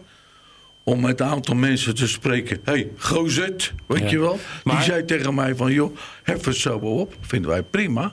Maar dan heb je niemand meer die die vrijwilligers regelt. Ja, Want dat is wel belangrijk. Maar dan wordt u wel eens verweten dat u een soort verlengstuk van de gemeente bent. Ja, nou, daar- daarom zeg ik wel even. eh, Naar al die mensen. Want straks ga ik weer even kijken wat ze in me leuk geschreven hebben. Want ik leg elke dag leg ik in een deuk. Mhm. Ja. Want dan kom ik schrijf daar niet op. Als ik straks geen voorzitter meer ben. over het Forum Schiedamstad. Over het Forum Schiedamstad. Als ik geen voorzitter meer ben, Mhm. ja, dan wil ik wel schrijven. Dan wil ik ook twitteren. Ja. Want dan is het voor mij heel simpel. Dan maken ze belachelijk. Ja. Van hier tot Tokio. Ja. Maar goed, even terug. U zegt eh Sobo is eh, zeker geen verlengstuk van de gemeente. Dat moet dan blijken ook weer wat u zegt. Gemeente zegt van luister, zo gaan we het doen. En vervolgens wordt het bij de vrijwilligers neergelegd en die moeten het uitvoeren. En daarvan zegt u van de schakel die ontbreekt is... die vrijwilligers zijn niet betrokken in de opzet. Ja, nou, klaar. Kan, dat, kan dat beter? Kan dat anders? Moet dat anders? En wanneer kan dat anders? Het kan nu anders. Als je nu met z'n allen zegt, jongens, we leggen het neer. Ambtenaren hebben een stuk geschreven, de helft van wat wij vinden. Mhm. We gaan bij elkaar zitten en we maken een, een heel stuk gezamenlijk. Ja. Dan heb je een handvat, heb je dan. Ja. Dan heb je een handboek. Ja. Vroeger had ik het handboek soldaat, weet je Ja, nog? dat heb ik nog thuis Oké, nee, dus dat werd wel gezamenlijk gedaan. Ja. Even heel samenvattend. eh, We hebben het gehad over instituut Sociale Raadslieden, eh, DCMR, klachten. Eh, Kunnen we dadelijk nog wel ergens terecht met onze klacht? De, de bezuinigingen, er wordt dadelijk ook op de WMO en de ROG bezuinigd. Gaan we een heet financieel najaar tegemoet? Nee. En waarom niet? Omdat ze het zo verpakken dat iedereen het slikt. Alleen ze vergeet één ding. Als er verkiezingen komen, dan worden ze afgerekend. Wij kunnen aan, aan het college namelijk niets doen. Die 35 mensen die daar zitten in de gemeenteraad, dat is het hoogste orgaan. En die beslissen wat er gebeurt. Als, als de wethouder zegt, dit gaan we doen. En hun zeggen met 18 voor en 17 tegen, dat doen we niet. Dan kan de wethouder weer gewoon terug zijn huiswerk gaan doen. Ja. En daarvoor zit die gemeenteraad daar. Die moet het voor ons, want wij hebben hun gekozen, moet het opknappen. En daarvoor spreken we ook in bij de gemeenteraad. En niet bij BMW, want BMW is ingesteld door de gemeenteraad. Vergeten veel mensen. Nou, straks om half twaalf hebben we een van die 35. Dan komt Ja. mevrouw De Bel, die komt van Leegbaar Schiedam, Schiedam actief. Die gaat over nog veel meer. Want er gebeurt nogal wat in Schiedam. Hè? Het is niet een onbesproken gemeente. Gigantisch. Je moet bijna s'nachts twee uur slaap inleveren om alles te lezen en te horen en met mensen te praten. Het, is, eh, het zijn geen saaie tijden. Meneer Van Gestel, bedankt voor uw toelichting. Eh, u gaat nog van het cricket genieten, neem ik aan. nee, ik ga Excelsior ja, 20, hè, daar moeten de mensen 20. vandaag naartoe. Geweldig. 2020 Drie- drie wedstrijden, Cup. Oké. 2020. En morgen naar Hermes. En morgen naar Hermes. En wellicht dat daar nog een balletje overblijft. Denken we ook wel. Ik ga ondertussen tegen de mensen thuis vertellen dat wij eh, even gaan rusten. Dat wil zeggen eventjes een kopje thee drinken. Dan zijn we graag terug met het tweede gedeelte. Hij is net gearriveerd. Frans Eikenbroek, de grote baas van de Brandersfeesten. En straks om half twaalf mevrouw Gerry de Bel. Wat ons betreft, tot straks.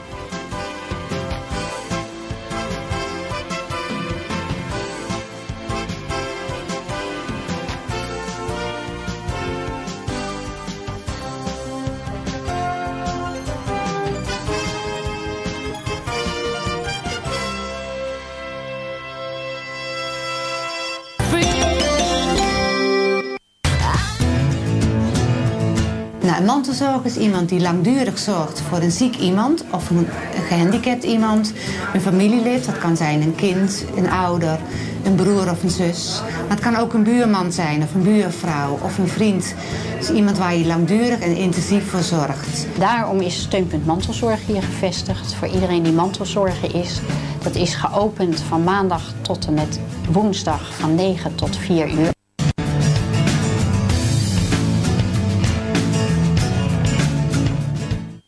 Er is een warenhuis waar de klant nog koning is. Waar goed advies, kwaliteit en de beste service hoog in het vaandel staan. En waar u werkelijk alles kunt kopen wat u maar kunt bedenken. Van dunschiller tot bestekset, van mp3-speler tot lcd-tv, van tapijt tot bankstel en van speelgoed tot witgoed. Wat u ook nodig heeft, BTS heeft het. En we bezorgen en installeren het gratis bij u thuis. BTS. Betere service. Groenelaan 49 Schiedam. Gering Zonwering. Zonwering voor binnen en buiten. Zonwering op maat en supersnel geleverd. Gering Zonwering. Voor de beste service. Voor woning en bedrijf. Ook in Rolluiken. Bel 010 426 4369. Of kijk op gering.nl. Hollandse Nieuwe! Ja, ze zijn er weer. Bij Volendammer Vishandel Tuip. Hollandse Nieuwe Haring. Mmm, al bijna 40 jaar de lekkerste van de stad. Onze viswagen staat tot ver na de zomer aan het Rubensplein in Schiedam. Aag vooruit. Nog één keertje dan. Hollandse Nieuwe! Een bril is zoveel meer dan een visueel hulpmiddel. Het is uw identiteit, uw stijl en uw uitstraling. Wij van Tempel Optiek en Hoorcentrum snappen dat als geen ander. Daarom bieden wij u de nieuwste mode in brillen. Voor iedereen een eigen look. De nieuwste trends, van klassiek tot retro en van minimal tot de laatste mode. Uiteraard voorzien van een deskundig advies door een gediplomeerd opticien. Want professionaliteit, service en fashion zijn ons grootste goed. Al meer dan 50 jaar. Wees uniek. Sier uw gezicht met lenzen of een bril van Tempel Optiek. Tempel Optiek en Hoorcentrum. Hoogstraat 2 Schiedam.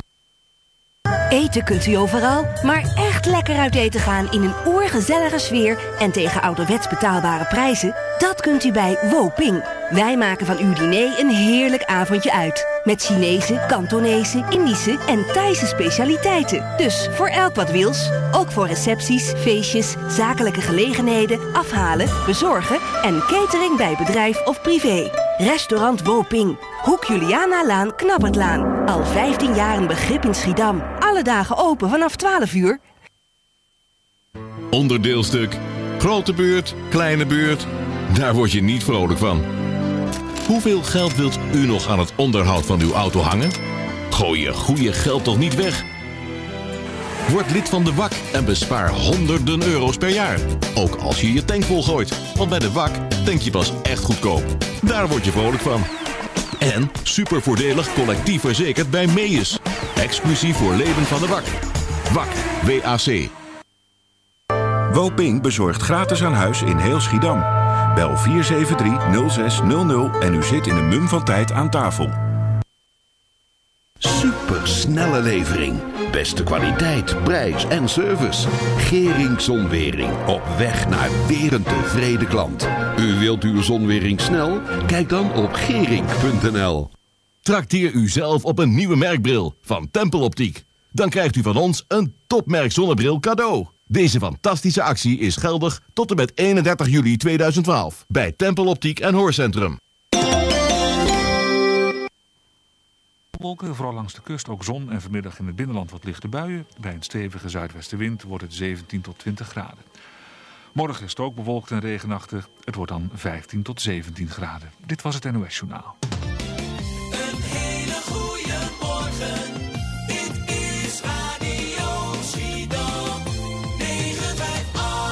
Dit is tot 12 uur passage 12. Als ik naar mijn ouders rijd, het voorjaar in mijn bol. Na zo'n maand of zes, na zo'n maand of zes. Ik voel me dan altijd zo blij, ik weer aan de hol. Op mijn oud adres, op zijn oud adres. Zie ik weer mijn vaderland, springt mijn hartje open, want de koeien zijn zo fris. De mensen zijn zo tolerant, ik voel dan weer die band. Ik weet weer wat ik mis. Lente in Twente, lente in Twente. Als ik weer zo'n tugger zie, vol met bier en sympathie. Lente in Twente,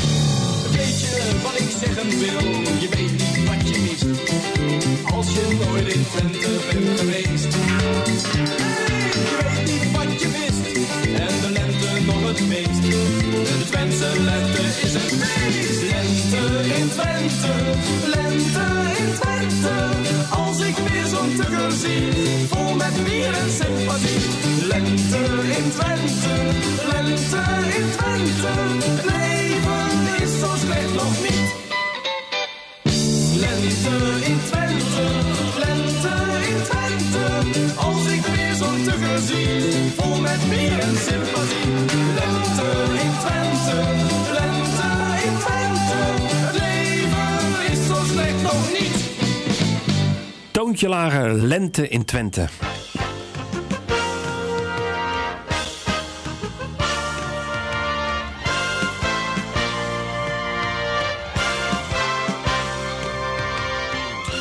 Mensen, welkom terug bij het tweede gedeelte van Passage 12 op Radio Schiedam Loek TV.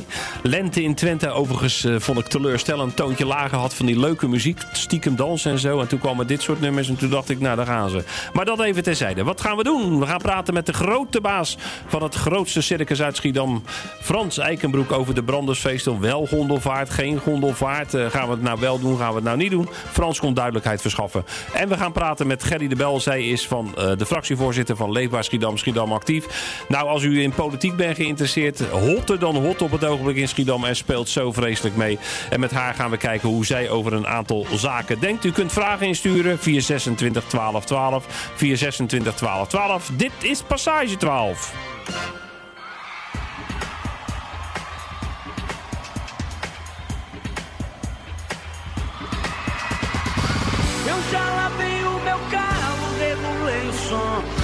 Tá tudo preparado, vem que o Greg é bom.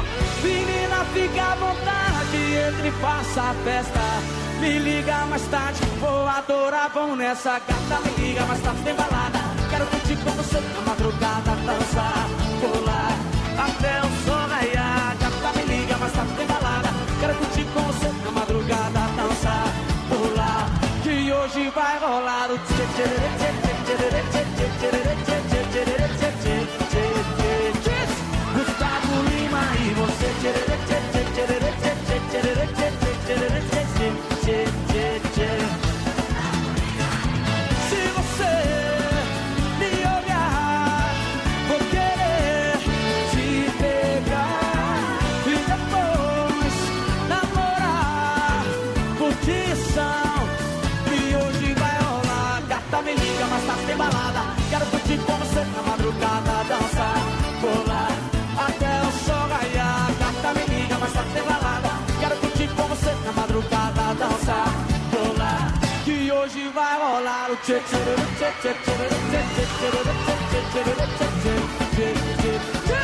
Gustavo Lima e você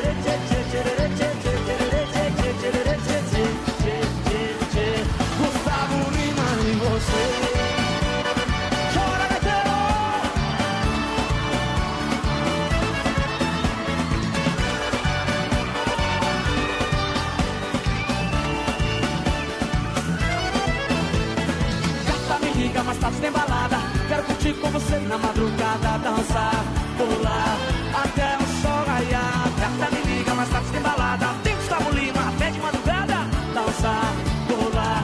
Que hoje vai rolar o tchê tchê tchê tchê tchê tchê tchê tchê tchê tchê tchê Gustavo Lima e você tchê tchê tchê tchê tchê tchê tchê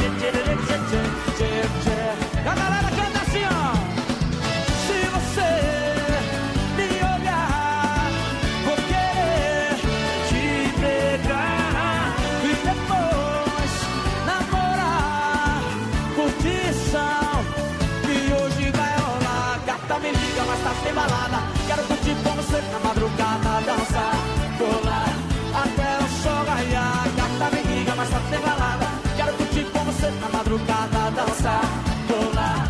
Que hoje vai rolar o tchê tchê tchê tchê tchê tchê tchê tchê tchê tchê tchê Gustavo Lima e você tchê tchê tchê tchê tchê tchê tchê tchê tchê tchê tchê Gustavo Lima e você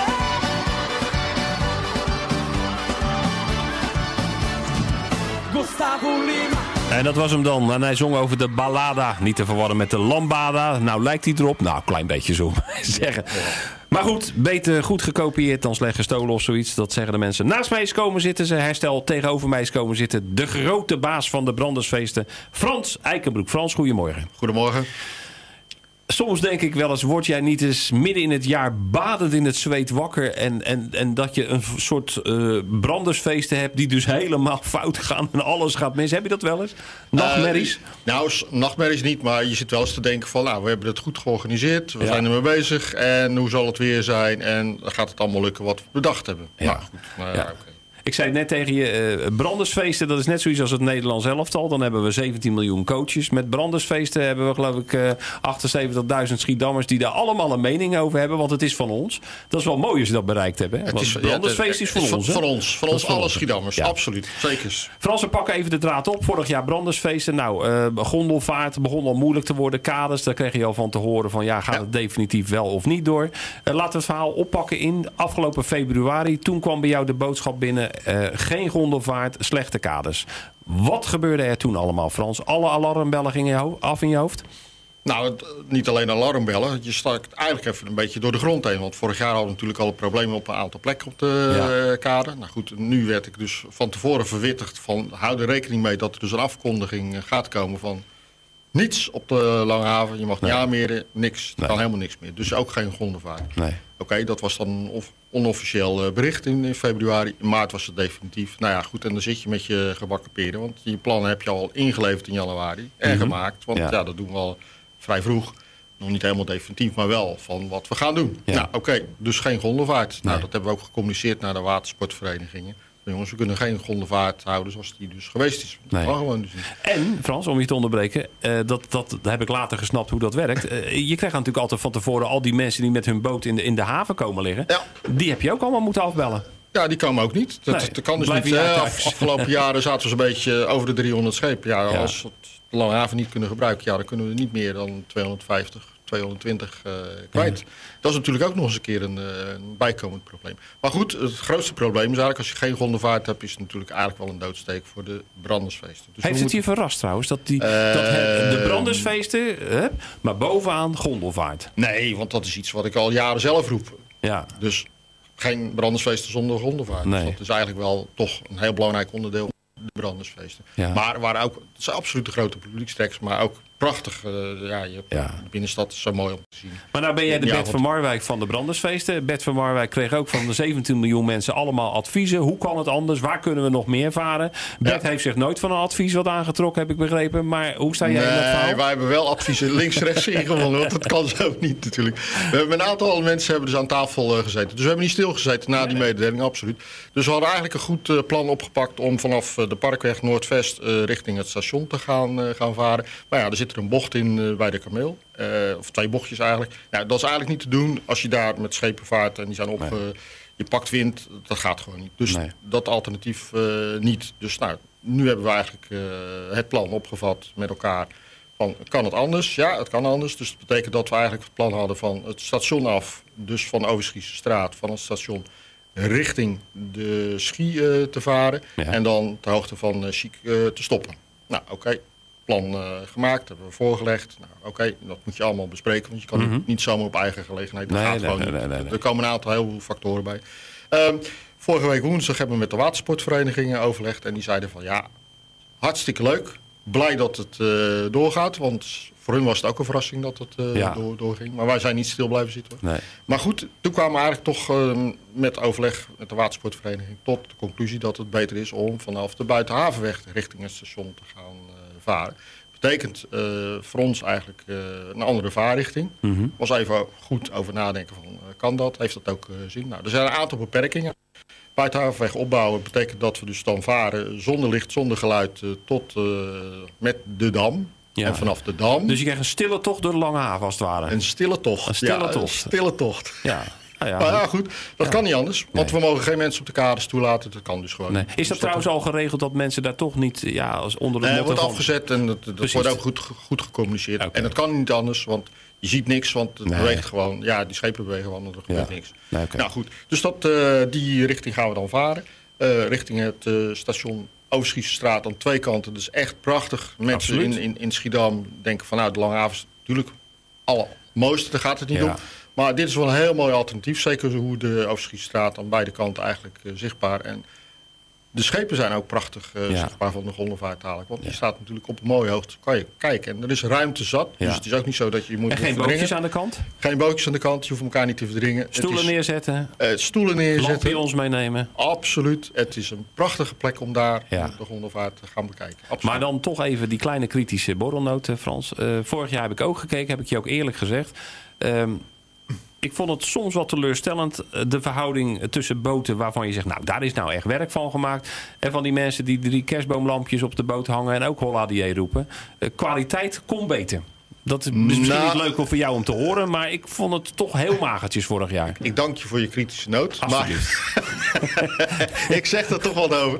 In principe hebben we wel afleidingen tussen de zeg maar, opgetuigde versierde, prachtig opgetuigde schepen. eh, Hebben we wel afleidingen nodig. Want als je alleen maar hele mooie schepen achter elkaar krijgt. Alleen maar dat- hoogtepunten. Dat, dat, dat heeft ook geen zin. Nee, dus begrijp ik.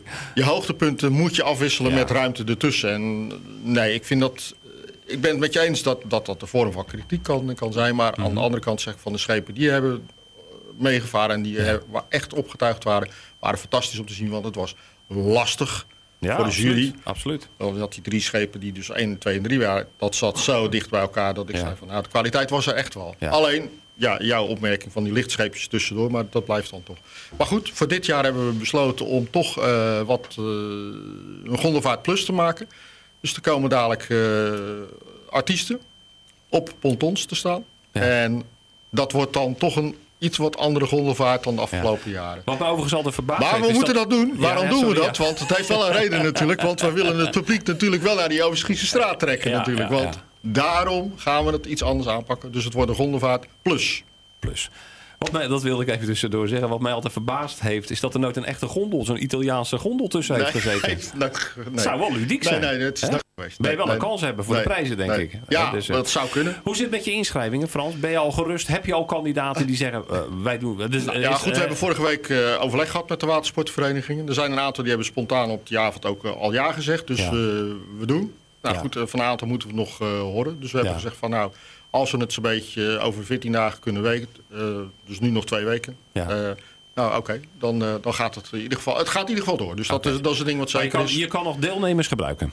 Absoluut. Ik roep bij deze dan ook, als mensen nog Ja. geïnteresseerd zijn, graag deel, deelnemers genoeg. Want Maar- we willen toch gewoon wel een hele mooie gondelvaart. Ja, moet, wat je zegt. Absoluut. Gondelvaart plus. Maar gondelvaart of geen gondelvaart, de Brandersfeest is meer dan de gondelvaart. Eh, hoe zit je op het ogenblik op schema met de rest van het programma? Komen er nog verrassingen? Gaat er nog iets ja, leuks gebeuren? nee, goed, we hebben het heel duidelijk nu over de gondelvaart gehad. Maar door eigenlijk de, de verandering van dat we de lange haven helemaal niet mogen inzetten Mhm. op het evenemententerrein. Want we kunnen het helemaal niet Nee, gebruiken. ook op zondag dus niet, hè? Gewoon niet. We kunnen het niet gebruiken. Dat betekent dat we dus het evenemententerrein op moeten schuiven. Dat betekent ook dat we dus zeggen van de Gondelvaart Oostgies straat. Maar er zijn dus veel meer activiteiten Mhm. rond die, eh, zeg maar ach- achter het uh, Proveniershuis. Ja. Daar komen dus allerlei activiteiten ook tot en met het station. Dus we gaan echt dat evenemententerrein van de Lange Haven verplaatsen naar dat Mhm. gebied. Dat is voor ons belangrijk. Dat betekent ook dat we de kameel eh, heel erg, eh, dus het Doelenplein zullen gaan inzetten. Ja. En nou ja, goed, eh, de laatste onderhandelingen zijn we zover dat er ook een reuzenrad komt in Schiedam. Dat Mhm. komt dan eigenlijk in het verlengde zeg maar, van het theater aan de Schie te staan. Om de mensen toch richting Ik dat dacht, ik dacht nieuwe... bij het stadskantoor, want als je dan, Nee, dan kan je eens een nee, keer kijken of ze op de 12e ook werken. Lijkt me wel leuk. Op zaterdag en zondag zijn ze daar niet. nee, dat is heel goed. Maar nee, we zijn dus echt van Ja. plan om die mensen dus richting dat nieuwe gedeelte van het evenemententerrein te, Ja. te verleiden om daar te- naartoe te komen. Dus Ja. dat is voor ons wel belangrijk. Betekent dat, eh, normaal had je dus de, de, de korte haven, lange haven. Dat verdwijnt dus eigenlijk. Betekent dat dat de, de Hoogstraat eigenlijk een scheidslijn gaat worden? Dan is eh, op, op dit moment is de Hoogstraat ja, inderdaad de, Ja. de scheidslijn. Maar dat is wel heel prettig om toch te, te zien dat de Hoogstraat... Daar is altijd publiek. Dus het is niet zo dat het heel vervelend is. Mhm. Eh, maar goed, het mooie historische deel ben je wel kwijt tijdens de brandersfeest. absoluut. Maar we krijgen wel een stuk daar eh, voor terug, wat ook prachtig uit eh, Mhm. Nou goed, en er zijn een aantal initiatieven die dus ook mee gaan werken om de brandersfeesten van dit jaar 2012 een heel mooi evenement te laten worden. Want we hebben de Lipdub. Dat is ook een prachtig eh, e- evenementje. ja. Daar is ook al aandacht eh, geweest hier, Volop, in, eh, ja. begrepen. Nou, dat is op zaterdag, dus, dus niet op zondag, maar dat is op zaterdag. En in het raam, daar zijn we mee bezig, om 400 jaar Turkse gemeenschap eh, Schiedam en zeg maar 400 jaar bestaan van de handelsbetrekkingen tussen Nederland en Turkije. Oké, Om dat, dat is op leuk. het raam te kunnen krijgen. Dus dat is zeg maar heel uniek Zijn- te noemen, want dat is zijn natuurlijk nog nooit dingen. Er zijn andere dingen dan we Ja. andere jaren hadden. Dus Ja. wat dat betreft denk ik dat we niet zeggen van nou, wacht, het is een flauwe afstrekkeltje Nee, van de nee, afgelopen nee. jaren. Absoluut niet. Er zitten hele mooie dingen in. Heb je al overleg gehad met de Turkse gemeenschap wat zij eventueel Ja. kunnen bieden? Ja, daar hebben we contact mee gehad. En daar ben ik heel erg blij mee dat ze dat initiatief, eh, wat ze hadden, Mhm. naar de brandersfeesten willen brengen. Dus- Oké, nou Want dat ze is... wilden het op een ander moment doen, maar ze doen het nu tijdens de brandersfeest. Nou, Daar dat zijn we heel blij mee. Eindelijk, hè, dat is een verrijking. Eindelijk, eh, samen. Nou ja, Als dat, dat het resultaat is van, eh, van dat 400-jarig bestaan, dan zijn we er in ieder geval wat mee opgeschoten. Frans, tenslotte, eh, waar liggen nog puntjes waar hard aan gewerkt wordt? Waar zijn jullie nog mee bezig? Komen de bekende artiesten? Ja, maar dan wil ik de volgende keer eh, dat begrijp de- ik, ja. We hebben er een paar geboekt, maar Ja. eh, we moeten nog wat boeken. En als ik dat weet, dan kom ik graag nog even langs om dat te vertellen van Ja. wat we gaan krijgen. Ja. Maar en dat is specifiek dan alleen voor de grondenwaard. Maar er is al, er is al een bekend toch, dat, eh, maar dat heeft weer met de Maasboulevard te maken. Een gemeenschappelijke artiest. Dat is mij niet helemaal duidelijk. Ja, nou goed, eh, wat we nu eh, hebben is dat we elkaar dus ondersteunen. Want we, we moeten elkaar dus gewoon onderste- ondersteunen. Dat Mhm. betekent ook dat we contact hebben met Zomerterras, maar ook met Maasboulevard. Ja. Eh, John van Oudenaren ken ik natuurlijk heel erg goed. Dus Ja. we doen al een aantal dingetjes met elkaar eh, samen. We zitten samen in Winterhart. Mhm. Ehm, nee, we, we verlengen elkaar. Dus dat betekent dat de openingsact op de eh, zeg maar Maasboulevard... dat wordt... Leuk. Niet gesponsord, maar dat verzorgen wij. Ja. Dus dat, zij doen dat. En omgekeerd doen zij weer. Want ze nemen altijd een deel aan de hondenvaart ook Ja, ja, als. Malibu. Dus wij verlengen elkaar, absoluut. Je- en we hebben goed contact met Je elkaar. gebruikt een belangrijk woord. Sponsors. Nou, sponsors zijn schaars. Die moet je soms Ja. met een lantaarnetje zoeken. Dat is Eh, heel erg lastig. eh, Zeker maakt nadat- jullie werk lastig, ja? Ja, het maakt het ons eh, wel een stuk lastiger. Een aantal sponsors van jaar en dag die moeten helaas toch een stukje Ja. af, Ja. afhaken. En ja, dat is vervelend. Maar goed, ze staan onder een eh vergrootglas, sommigen. Ja, en dat, Kan niet anders dan. Frans, zoals altijd, eh, de zomervakantie komt eraan. Na de zomervakantie ben je altijd hier eh, om ons helemaal... Dan gaat het ook snel, hè? Zomervakantie, dan zeg ik altijd, ja, half augustus... dan gaan de scholen weer beginnen. Maar ja, dan heb je nog een maandje en dan, dan moeten we knallen natuurlijk. Dus... eh, Nou, waarschijnlijk binnen 14 dagen kon ik vertellen wie er dan tijdens de gondelvaart plus Op de peloton staat. Dat zijn tenminste harde toezeggingen. Frans, ik ga je bedanken voor het langskomen. Ik hoop dat er geen nachtmerries eh, verder meer eh, door je hoofd heen gaan... s'nachts eh over Brandersfeest en Gondelvaart. Nee, ik ben blij dat we een goed Die locatie is nu bepaald en Ja. je hebt een goed programma. Frans, ik wens je een fijn weekend. Dank u wel. Jullie ook allemaal. Dag.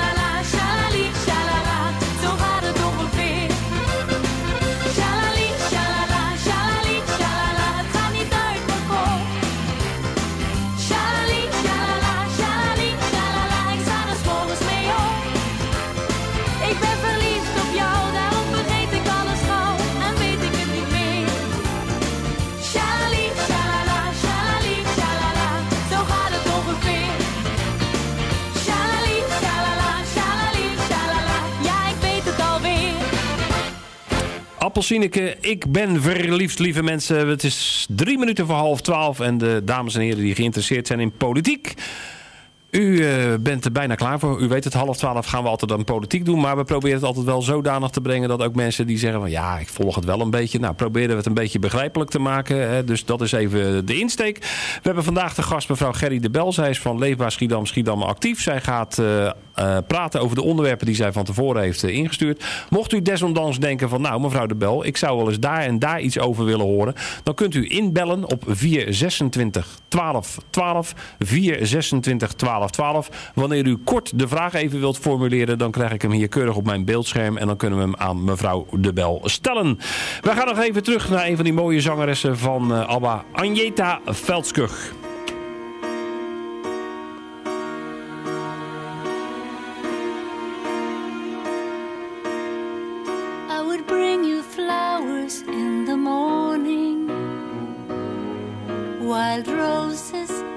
Sun begins to shine, sweet perfume in tiny jeweled caskets. If I thought you'd ever change your mind, I would take you where the music's sweetest and feed you winter fruits and summer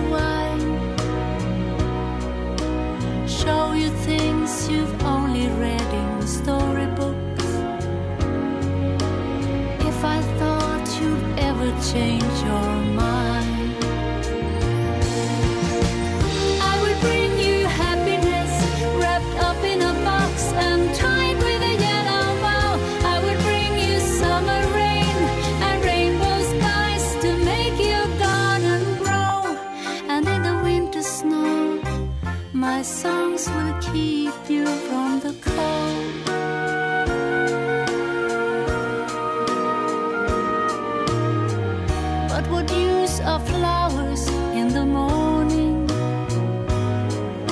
when the garden they should grow in is not mine? And what use is sunshine if I'm crying and my falling tears are mingled with the wine?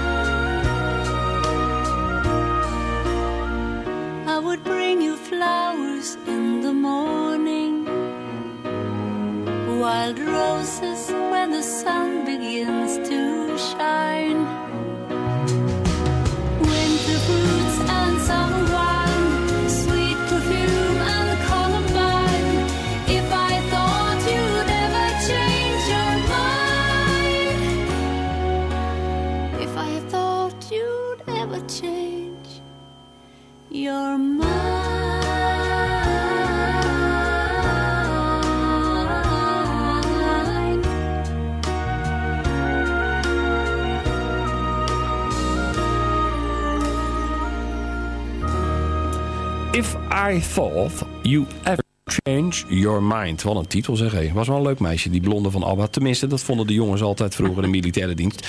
Maar wat ook een leuk eh, meisje is, die zit tegenover mij. Dat is mevrouw Gerry de Bel van Leefbaar Schiedam. Schiedam actief. Mevrouw de Bel, good morning.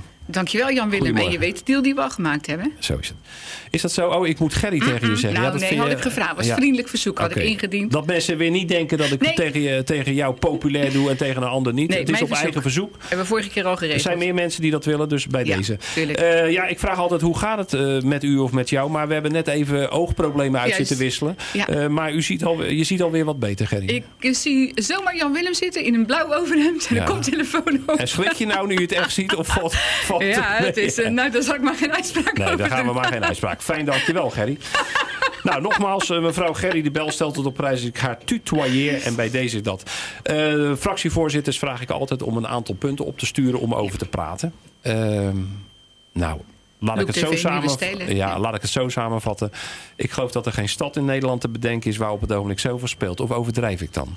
Nee, tuurlijk niet. En ik geef je ook altijd in de laatste alinea de vrijheid om eh, Ja. gewoon... eh, ja, eh, er kan opeens dingen opploppen en zo. Maar nu Ja. is er echt zoveel dat, ja... Nee. Half Maar- uurtje, Jan-Willem. Ja, ik heb vorige keer al spreektijdverlenging aangevraagd bij mij. Ja, nee, nee, nee. nee. nou is het zo dat eh, eh, ja, eh, er speelt zoveel dat je zegt van ja, we moeten op een gegeven moment ergens gaan beginnen. Nou, ik, ik begin maar gelijk met datgene wat het meest heftig leeft in Schiedam. Er is een groot bedrag aan geld eh, eh, niet te achterhalen van waar het nou aan uitgegeven is. Dat betreft declaraties. Dat kan van een gevulde koek tot een taxirit zijn. Of bosbloemen tot weet ik het allemaal wat, tien kroketten. Ehm, in het begin werd daar een beetje makkelijk mee omgegaan. Maar die discussie ging zich verharden. Zodanig dat er eh, voor werd gesteld om een eh, werkgroep in het leven te roepen. Om die Klopt. bonnetjesaffaire uit te zoeken. Ja. Eh, en nu kwam het punt van, ja, de, de eerste reactie van die werkgroep was vreselijk schrikken toen ze de bonnen zagen. Waarop het laatste middel op het ogenblik ten tonele is gevoerd, dat is een, een enquête. Ja, een Dan raadsenquête. een raadsenquête. Dan moet je, zoals dat heet, met de billen bloot. Niet alleen de mensen van nu, maar ook de mensen van weleer. Ja. Legt u even zelf uit wat in uw beleving daarna Ja. allemaal aan turbulentie is ontstaan. Even terug aan Willem, want, want eh werd in zoverre niet van dat bedrag op dat moment geschrokken. Want dat was de uitkomst natuurlijk van dat rapport van, eh, van Ernst en, en Jong. Dus dat komt op tafel. Ja. En daar was iedereen het ook over eens. Nou ja, dat, dat moet echt uitgezocht worden. We kunnen dat niet aan de stad Schiedam verkopen. Hè, want we hebben Mhm. natuurlijk een redelijk turbulente achtergrond. En wij willen zeker vooruit. Ja. Dus dan ga je kijken van wat, wat zijn dan de mogelijkheden. Dus dat bedrag lag op tafel. Eh, die, die werkgroep heeft eh, prima werk eh, verricht. Kwam uiteindelijk tot dit doel van... nou, dat moet dan een raadsenquête worden. Dat heeft de minste kosten. Dat is allemaal eh, goed eh, te overzien. En ehm, dus dat is eruit gekomen. Dat komt dan, nou, dat hebben jullie ook meegemaakt natuurlijk... eh, in, in de commissie. En eh, ja, daarna zijn er dus een, een aantal partijen, dus eh, de PvdA, CDA en VVD, die eh, ja, opeens in paniek raakten of zo. En ja, dat vonden we zelf wel iets waar ben je nu mee bezig, want die werkgroep is samengesteld. Een keurige brief vanuit die werkgroep, die zit echt heel goed in elkaar. Hè? En waarin dus aangegeven wordt, dat wordt een raadsenquête. En dan opeens worden de PvdA en de, de VVD teruggefloten. Ja, dat, dat is eigenlijk stomzinnig zoals dat gegaan is. Dat moet je ook helemaal niet willen. Hè? Want, want die werkgroep is aan het werk. En heel goed de brief die er ligt. eh, dan moet je dat niet willen. En ja, dan... Dat kun je ook niet verkopen. Dus nu worden er allerlei teksten. We horen het volgende week. Wat, hè, dan komt het toch alsnog in de raad natuurlijk. Prima. Ja. Ehm, ik heb al akkoord gegeven. Kijk, die eerste brief was ik al mee akkoord. Dus eh, dat is voor mij ook, denk ik, het beste onderzoek. Hè, voor zoals Leefbaar erover denkt. Dat dat ook gewoon kan gaan gebeuren. Nou, dan komen er allerlei eh, brieven komen daar dan op binnen. Maar het is natuurlijk op zich belachelijk dat dit opeens zo gebeurt. Want dan krijg je hele eh, vertekende beelden. Want we zitten natuurlijk ook nog met waar de declaratie om gaat van een periode van mensen die toen wethouder waren en nu Mhm. weer in de raad zitten. Nou, je Ja. weet onze mening erover, dat vinden we al belachelijk. Dus ja, het, het is natuurlijk heel vreemd dat ze nu op deze manier aangeven het per se anders te willen... of hun eigen mensen die in een werkgroep vertegenwoordigd zijn terug te fluiten. Dan denk je van, nee, kom op jongens, die raadsenquête. Maar om het, om het simpel te zeggen, eh, wanneer je dus dat middel eh, niet wil gebruiken, dan zou je de indruk kunnen wekken pardon, dat er wat te verbergen En is. je moet het zo niet willen. Je moet het niet willen. Je moet gewoon die raadsenquête doen. Want dit, Ja. dit komt zo raar Maar over. goed, u heeft, u heeft contact met uw Ja. partijgenoten en Ja. uw collega's in de raad. Wat geven die drie partijen, Partij van de Arbeid, VVD en CDA, nou in uw optiek eigenlijk aan om het niet te doen? Eh, zij, vinden, zij vonden dan eh, even zo in de commissie... en dat waren geen steekhoudende argumenten... zo van niet voldoende onderbouwd. En, eh, nou, dat, dat is het wel degelijk. Dit is de uitkomst van, van... de raad heeft een werkgroep ingesteld... met mensen die daar ook goed kijken op, op hebben. En dat soort mandaat geef je in feite mee ook aan die Mhm. werkgroep... om tot, hè, te kijken welke onderzoeksrichting gaan we doen. Dat was de opdracht. Het is een ze uiterst perfect- middel, hè? even voor de duidelijkheid. Het is een uiterst ja, maar het is wel een heel duidelijk middel. Ja. En, en, en de kosten zijn in control. Dat is natuurlijk ook heel belangrijk Ja. voor ons. En dus ehm, de argumenten die in de commissie aangevoerd werden... waren echt kul-argumenten. Je zet, eh, die ploegen zetten zichzelf volkomen voor schut... Ja. om dit zo te spelen. Ja. Die moeten het niet willen. Nee, nou is het zo dat eh, binnen de Partij van de Arbeid is mevrouw De Haan eh, teruggefloten. Ja. De VVD heeft Van Wijk teruggefloten. Klopt. Binnen het CDA is mij niet helemaal duidelijk. Hoe, hoe, daar, hoe was daar een beetje het argument of de reactie? Eh, eh, niet een voldoende onderbouwing. Nou ja, Ja. en die tekst klopt echt niet. nee. Want dan hebben ze het niet goed gelezen. Meneer Brechtman van Ja. D66 was voorzitter van die commissie. Heeft gezegd, ik ga dat verder niet meer doen. Eh, nou is natuurlijk een beetje de vraag... Heel simpel, gaat die commissie er nou komen... en mag die het werk doen zoals jullie dat willen of niet? Eh, speelt GroenLinks daarin een sleutelrol? Dat denk ik niet. GroenLinks is eh, ook eh, duidelijk voor... Hè, om, Ja. om alles eh, boven water te krijgen. Ook gewoon de raadsenquête, dat dat, dat, Zij- dat u bent gedaan- ervan overtuigd dat zij dat willen, ja? Ja. En dat betekent dus dat in de vergadering van 26 en 27 juni... wordt er dus gestemd. En dan gaan we dus te horen krijgen... komt die commissie er of komt die er niet? Die, ja, die enquête. Ja, want de, van de, deze week dus krijgen we nog meer materiaal Ja. aangeleverd, zeg maar. En ehm, ja, met andere voorstellen van de, hè, de PvdA, VVD en, en CDA. Mhm. En eh mijn inziens moet je dat ook gewoon niet willen. Maar goed, dat, daar wordt allemaal over gesproken uiteraard. En ja, uiteindelijk komt dat Ja. in de raad van eh welke middel gaat het, eh, gaat het worden. Maar Stel dat dat middel er komt. Ja. Die, die enquêtecommissie die gaat aan de slag. De bonnen worden onderzocht. Kunnen twee dingen gebeuren. Heel simpel. Het kan allemaal weerlegd worden. Gewoon niks aan de hand. Het kan ook foute boel zijn. Ehm, even, eh, je hoopt altijd op het goede. Laten we eerlijk wezen, er zit niemand op nadigheid te wachten. Dat, tenminste, dat denk Mhm, ik niet. mhm. Eh, ik denk niet dat het goed zou zijn wanneer raadsleden, wie dan ook, welke partij dan ook, gaan hopen dat het fout is. Maar goed, de signalen zijn natuurlijk niet gunstig. Wanneer het niet goed is, Mhm. wat wil Leefbaar Schiedam Schiedam actief met de uitkomst doen? Ja, dat hangt uiteraard van de uitkomst af. En, en Mhm. de zwaarte die daarbij ligt natuurlijk. Ja, hè, maar want stel dat hebt- er dus eh, heel veel gedeclareerd is wat niet eh, hoort. Waar, waar- waarvan je zegt van nee, ja, dat kan je niet declareren. Dus dat is financieel foute boel. Ja, Wat dan? Dan zullen daar eh, volgens mij toch wel consequenties aan, eh, En wat zijn, die, zitten. wat, wat zijn die consequenties ja, dan in uw optiek? Dan lopen we nu wel heel erg op de, Ja, op de maar goed, feiten eh, vooruit. En je, je zou dus inderdaad kunnen denken van... nou ja, goed, dan zullen toch mensen... waarvan ik overigens denk die nu in de raad zitten... als er iets mis mee is, sowieso terugtreden. Maar dat zou onze wens al direct geweest zijn. In mijn Mhm. zin moet je dat niet willen... als hij al besproken wordt in een Bing-rapport... om dan als raadslid terug te treden. Ja, terugbetalingen, is dat nog mogelijk? We moeten Nee. echt, die uitkomst moet je echt, eh, Ja. dat moet je afwachten. En wat kun je er dan op inzetten? Ja, wat verwacht u eh, volgende, of op de 26e, wat schat u in?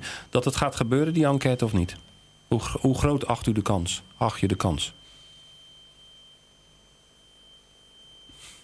Als ik het eh, gepeupel zie daaromheen... Mhm. en je weet natuurlijk, coalitie en oppositie, hoe Ja. de verdeling is...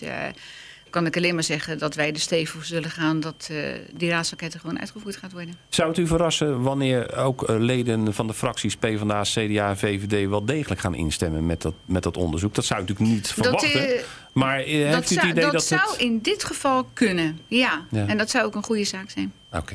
Nou, laten we dat onderwerp even laten liggen. Eh, u heeft veel aangegeven, daar ben ik altijd heel blij mee. Ja, de zomernota, daar hadden we het er net nog even over. De zomernota is iets, maar eigenlijk is het niets. Het geeft alleen maar aan hoe BMW denkt te gaan bezuinigen in november. Eh, hoe ze dat gaan bereiken. Maar er sta- staan geen getallen in, er staan geen organisaties in. Eh, wat is voor u het belang van die zomernota? Ja, de zomernota, nou je geeft het al heel leuk aan, Jan-Willem. Want ik had zoiets, nou volgende week woensdag zijn we vrij. Dat Want- vraag om uitleg. Ja, dat vraag. Ja.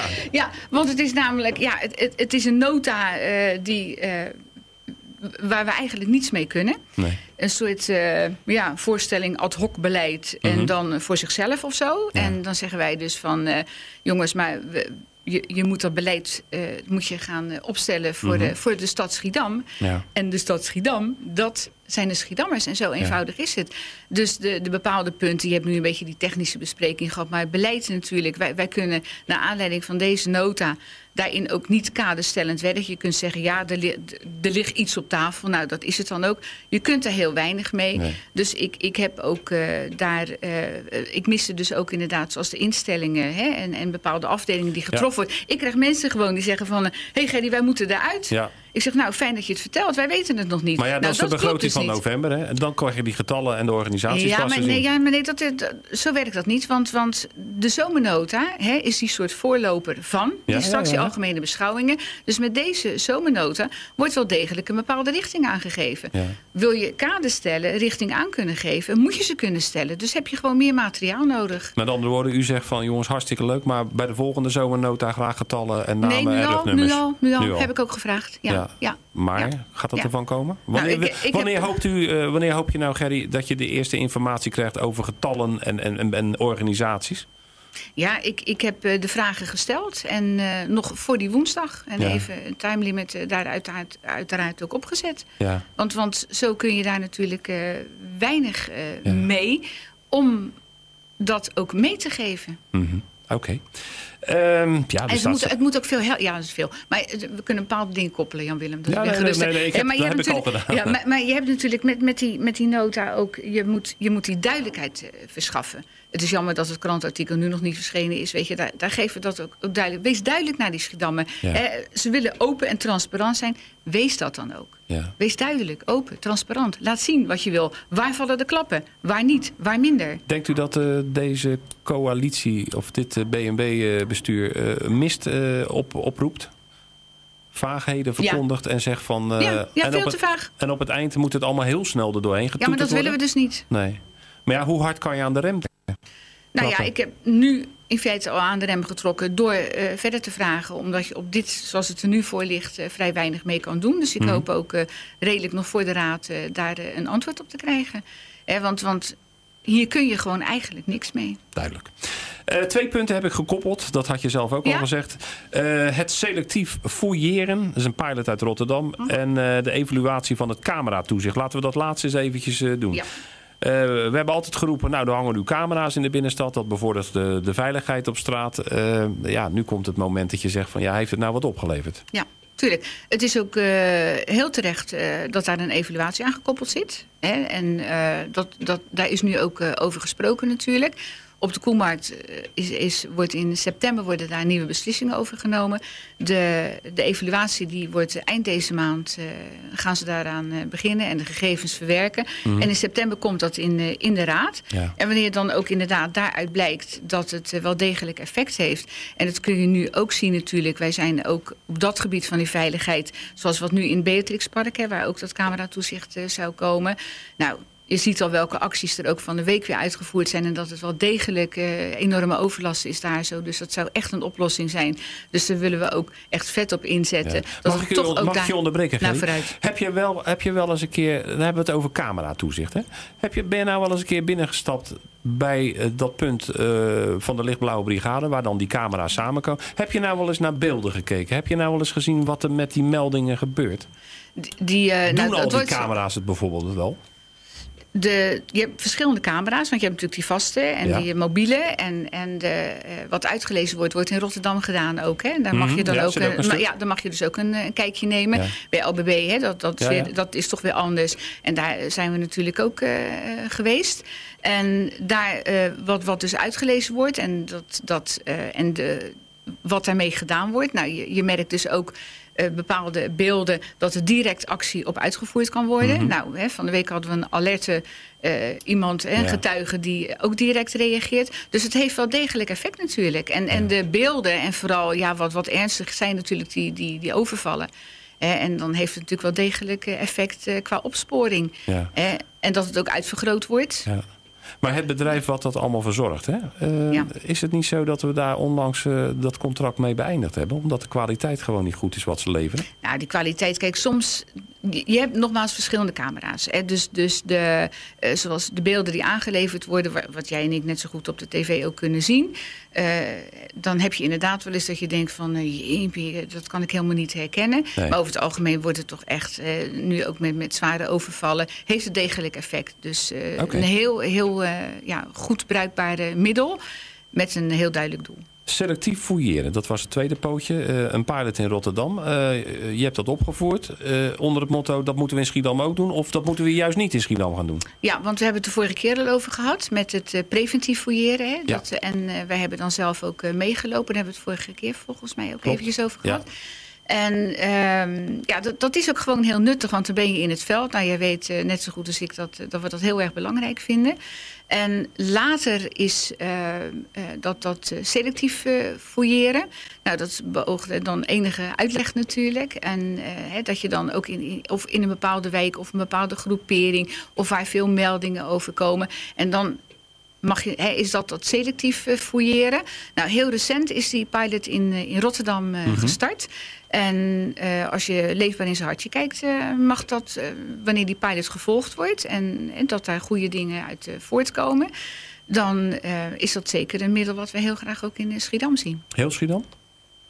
Nou, dat, dat hangt er gewoon vanaf. Want dat Ja. selectief fouilleren is juist dat je mm, Mhm. in een bepaalde Maar ja, wijk... goed, je kan zeggen we beginnen in het centrum. Ik noem maar wat. Nou, ik denk dat je dan van de, van de, met de meldingen, met, met de urgentie, de prioriteiten gaat stellen. En Ja. daarop, kan, s- dat is juist het voordeel ervan. Mhm. Omdat je dan op bepaalde meldingen afgaat of bepaalde overlast. Duidelijk. Ontwikkeling binnenstad, ontwikkelingsvisie. Eh, eerst het meest actuele. Eh, elke zondag open is geen feest. Want dan zeggen de winkeliers, ja, hallo, moet ik dan s'nachts tussen twee en vier nog even thuiskomen? Eh, even heel kort daarop ingaand. wat willen we nou eigenlijk in ja, Schiedam? meningen zijn verdeeld. Ja, zwaar Willem? verdeeld. Zwaar Nou- verdeeld. Ik heb ook bij die hoorzittingen gezeten van die, eh, de zwaarschriften, eh, even die stichting dan, hè, van die stichting. En uiteraard ook eh, de, dus gewoon als toehoorster van, Mhm. nou, hè, wat, wat gebeurt daar dan? Hè? Dus dan, Ja. de, ik zal maar zeggen, de tegenstanders en de gemeente. En dan hè, wat, wat raadsleden. En ik denk, daar ga ik eens even bij zijn. Ik heb eh, eerlijk gezegd niet veel nieuws gehoord. Nee. En, ehm, Maar is en dit, de is meningen zijn. Elke zondag open? Nou, wat, wat mij enorm stoort is, en dat zijn ook de teksten die door die stichting gebruikt worden, wordt constant het woordje moeten gebruikt. En dat is namelijk Nee, niet niet. zo. Nou, Nee. de tekst die wij toen uitgesproken hebben in verband, dus voor die openstelling, is juist die vrijheid. We willen toch levendigheid in die stad. Ja. Ja. Met een dode boel heb je er niks aan. En dan kun je die plannen, we kunnen er gelijk aan doorkoppelen, dan kun je die plannen, hè, zoals eh, Stad aan de Schie en de Lange Haven, hè, dat, dat zijn hele leuke ambities, maar met een dode hoogstraat heb je daar niks aan. Wel, en dan ga ik even terug, mag je hem koppelen aan, aan het andere punt, die schriftelijke vragen die we gesteld hebben over die winkelleegstand. Dat is Mhm. misschien wel handig. Kijk, dat is een punt, Jan-Willem. eh, dat, ik heb daar keurige antwoorden op gekregen. En geweldig. En een dag later zit de wethouder met jou in, eh, in de stadserf voor de koordenbeurs. En dan wordt eigenlijk die winkelleegstand zo'n beetje weggewapperd. Dan hebben we het over stad aan de schie en bladibla. Ik denk, dag ervoor heb ik keurige antwoorden gekregen. Ik denk, wat klopt er niet in dit verhaal? Communicatie, uh-uh, nog geen steeds een sterk punt. En even later hebben we natuurlijk die, die commissieavond over die, over die binnenstad. En toen had de wethouder weer een heel ander verhaal. Ja, dat kwam weer meer in de buurt zoals wij het ook graag zien. Tof. En van de week, vorige week was het inmiddels alweer... heel leuk klein berichtje zo van... eh, we, we gaan dat voorbeeld volgen, hè, wat ze ook in ons antwoord hebben gegeven. En dat is een logica, kom ik zo weer terug op die, die zondag. Hoor. Maar wanneer je... eh ga naar andere steden. Ja? Wanneer je daar loopt, dan heb je altijd... Je loopt hè, van, van- door een winkelstraat. Je bent op weg naar een museum. Je bent op weg naar een leuke molen. Ik noem maar iets. Schiedam is een heel uniek stadje. Zo simpel is het. Maar die levendigheid moet erin. Nou, krijgen we nou voor elkaar dat toch hè, die winkeltjes... werk aan de winkel, perfect project. We gaan ze vullen. Nou, daar zijn die vragen over gesteld. We zijn ook heel tevreden met die antwoorden. Ik hoop ook echt dat dat goed uit kan pakken. Dat we ook die vastgoedjongens kunnen motiveren om daar echt werk van te maken. Ja, en dan, dan hoop ik echt dat het weer zo mag worden zoals Maar het hoe was. gauw, mag je Ja? onderbreken? Ja. Want je een prachtige monoloog mee aan het houden. Maar ehm, eh, hoe... Hey, ik ben een gast. Ik geen idee. Bedoel, je, mag, eh, je mag declameren wat je wil, want het is jouw tijd. Maar eh, ik, ik wil toch voor die winkeliers. Hè. Kijk, Ja. voor de ene winkelier is het gewoon makkelijker om op zondag open te gaan dan voor de ander. Ja. Eh, maar moeten we het nou willen dat. Want jij zegt zelf, ja, jongens, er moet beweging in die stad komen. Dus dan moet je op zondag wat bieden. Nee, nee, dat moeten, moeten we weglaten. Nee, maar precies. Maar, maar als je het dus niet moet, want je kan Ja. het sowieso niet verplichten. Nee. Dan blijven we toch alsmaar hangen op. eh, ja, Piet zegt vandaag eh, zondag en die ander zegt over twee de- weken zondag. Nee, maar je kunt ook, je kunt ook bijvoorbeeld zoals in heel Schiedam. Hè, ik, ik vind ook dat Spaland dat perfect eh, opgepakt heeft. Want, want dat was echt tof. Dat, Mhm. dat, eh, die zeggen, nou, wij doen die tweede zondag en we gaan eens even kijken. Ja. Mooie advertentie in het, in het stadsblad. Werkt ook. Hè, je kunt ook voor die wijken kiezen Mhm. om dat te doen. Ja. Maar dan moeten gewoon die verenigingen... en eigenlijk moet dat niet zo heel erg ingewikkeld zijn... hoe groot is Schiedam dan... Ja. om te kijken, kunnen we die koppeling maken? Moeten laten we weg, maar binnenstad. Hè, dan hoop je dat zoveel mogelijk mensen daar wel aan mee kunnen doen. Kleine winkels, natuurlijk Ja. moeilijk. Ja. Hè, op een andere dag vrij zijn, er zijn ook argumenten voor. Ik mag gelukkig, eh, ja, ik mag gelukkig eh, winkeliers ontmoeten die zeggen... oh, alsjeblieft, Gerdy, dat wordt toch niet teruggedraaid? Dat zijn ook Nou, we kleine hebben zelf ook zo'n eh, zo'n rondje gemaakt met Loek TV. Ja. En dan, dan kom je tot uit tussen de mensen die schreeuwen om elke zondag open. Mensen die zeggen, maar wanneer moet ik mijn kinderen dan nog eventjes toespreken? Moet ik dan al echt s'avonds het vlees gaan snijden? Ja, maar dat is, dat is weer een ander verhaal. Want het leuke is, als je door de week vrij bent... dan kun je ook je kindjes eens naar school brengen. Ja. En kun je ze ook eens uit school halen. En mag je eens mee naar judo of iets zwemmen. Mhm. Ja, Hè, ja, ik noem maar. Dus je maar dat betekent wel een hele omslag in het doen en denken van mensen. Als jij zegt Dat- van, eh, nou luister eens, eh, zondag dan werken... maar dan kan je door de week leuke dingen doen. Dan moeten Nou, mensen maar dat wel op zou mogelijk voorbereid zijn. Maar nogmaals Ja. gaan we wel even heel duidelijk stellen. Ja. Mogen. Moeten, mogen, ja, mogen. moeten is in dit geval bestaat niet. Hè, dus dan krijg je toch eh, die kansen. En voor die gezinnen zijn die er zeker ook. Ja. Dus dan, dan is het wel een, eh, ja, gewoon een heel goed middel. En die levendigheid, laten we nou eerlijk zeggen, Jan Willem, we hebben dat allebei mee mogen maken. En dat zien we toch heel graag. Dol op eh, bewegelijkheid. Overigens levendigheid ook. Eén ding nog. Eh, ik mocht vorige week eh, met een niet nader te noemen bekende Schiedam... eens heel langzaam over de Hoogstad lopen. En we hebben echt geschokt en bij elk pandje staan kijken. Ik was verrast eh, door het aantal winkels waar op het ogenblik aan gewerkt wordt. Verbouwingjes, eh, eh, onderhoud. En ik dacht, nou, dat zullen er twee of drie zijn. Maar als je het heel goed kijkt, dan zie je dat er ontzettend veel winkels op het ogenblik in beweging zijn. Dat Klopt. is echt fantastisch. Dan komt straks natuurlijk twee. Eh, er moeten ook wel ondernemers komen in die winkels. Maar wat, zoals ik het nu in heb ingeschat, denk ik, nou, dat, dat verraste mij echt. Ik wil nog eventjes, eh, Gerry, eh, op jouw verzoek gaan naar eh, Schiedam in beweging. Ik heb Ja. de wethouder van sport afgelopen vrijdag, gisteren draaide die, heb ik echt op de man afgevraagd. We gaan een heel circus doen met sportvelden, kost veel geld, tunneldak, komen er vleugels, komen er geen Ja. vleugels. Wie wil dat nou? Wie wil nou dat hele circus om dat, om dat sporten? Waar komt dat vandaan? Ja, nou dat, dat is, dat is eh, relatief eenvoudig. Want eigenlijk met de komst van de A4, Mhm. eh, die er anders al 40 jaar gelegen had... en dan hadden Ja. we helemaal niks eh, verder, dan had die weg daar gelegen en klaar. Juist door dat dubbel eh, hè, gebruik van, van het tunneldak natuurlijk. Kijk, en dan kun je, dan kun je kansen creëren. Ja, maar die, wethouder zei iets heel cruciaals. eh Ja? Voort van Oosten zei... Schiedam zit al jaren op slot. Er gebeurt eigenlijk niks Mhm, meer. mhm. En die A4 biedt kansen. Nou, daar kan je natuurlijk voor of tegen zijn. Ja. Er zijn mensen bij die zeggen van... nou, ik ga nog liever ten onder dan dat die weg er komt. Hoe ziet Leefbaar Schiedam Ja, eh, dat nou, hele we verhaal? hebben, als je, nou, je hebt ons gevolgd, Jan Willem, dus dat weet je ook. En eh, wij, wij snappen ook, eh, zoals eh, de wethouder dat aangeeft natuurlijk, van eh, ja, dit is eigenlijk een mogelijkheid, dit zijn kansen. Mhm. En dan zeggen wij ook, ja, dat zijn kansen. En dan ga je mee in het eh, traject. En dat is ook eh, goed begeleid. We kunnen ook eh, absoluut worden geïnformeerd. We kunnen de vragen stellen. En, maar in de laatste commissievergadering... wij zouden natuurlijk ook die sluitende business case krijgen. Ja. En daar hou ik dan wel van. Ja? Voor ons is het heel eenvoudig. Wat optellen, optellen, aftrekken. Budgetneutraal betekent voor mij optellen, aftrekken, onder de streep geen getal meer tegenkomen. Nee. Zo simpel is het. Nee. Nou, die ligt er niet. Dan, ja, Dus dan trappen jullie op de rem. dus dan, dan trap je op de rem. Dan, dan zeg je wel van eh, ja, de risico's. Het afdekken van die risico's. Hè. Dus zoals het mooi ligt en al die tandwieltjes gaan draaien, Ja. ziet het er gewoon perfect uit. Ja, nou is het opgeknipt in vier fases. Ja. Fase 1, eh, daar zegt de een van, nou daar zijn we unaniem voor. Ik heb ook maar mensen gehoord die zeggen, nou als je erbij bent geweest, dan waren we helemaal niet unaniem voor. Fase 3 Nou- gaat al eh, een- de kant op van, nou dat gaat het niet worden. Betekent dat dat het dan toch een soort vermagerde versie gaat worden van wat we eigenlijk totaal ja, maar wilden? daar zit je nu middenin, eh, Jan Hmm. Willem. Want het is natuurlijk ook zo. De een zegt van ja, eerste fase, tullen, nee, tullen, nee, tullen eruit. Dan gaan misschien Ja. wel mee. Nou, bladibla. Eh, je, je moet het totaalplaatje zien. Hè? En, en, en zijn dat die kansen? Maar wij willen die sluitende business case zien. En maar ook die risico's, hè, zoals met die marktpartijen. Ja, ja. Het wordt natuurlijk zo gespeeld. eh, dat de, kijk, daar wil ik die garanties in zien. Dat is ook toegezegd. Hè. Da- Daar komen, worden garanties ingebouwd, exitafspraken. Ja. Kijk, en die zie ik graag. Hè, want nu eh, kun je wel zeggen van ja, maar dat wordt in januari 2013 gedaan. Maar daar zie ik toch wel graag iets Nee. meer op. Want die, ook die sluitende business case zou er Ja. al zijn. En dan heb ik zoiets van nou, kom op. En wat mij wel eh, stoorde, ik weet dat, dat, dat er heel veel gesprekken zijn. Ook, nou, ik ben ook bij de aantal ook geweest hè, dat die sportverenigingen uitgenodigd worden. En dan, nou, je merkte ook aan, aan de insprekers en ook gewoon in het veld... dat, eh, ja, Gerry, nou, dat klinkt wel zo, maar voor ons is het Ja. dan eh, anders. En ja, dan denk ik, kom op jongens, want dat is natuurlijk een heel belangrijke factor.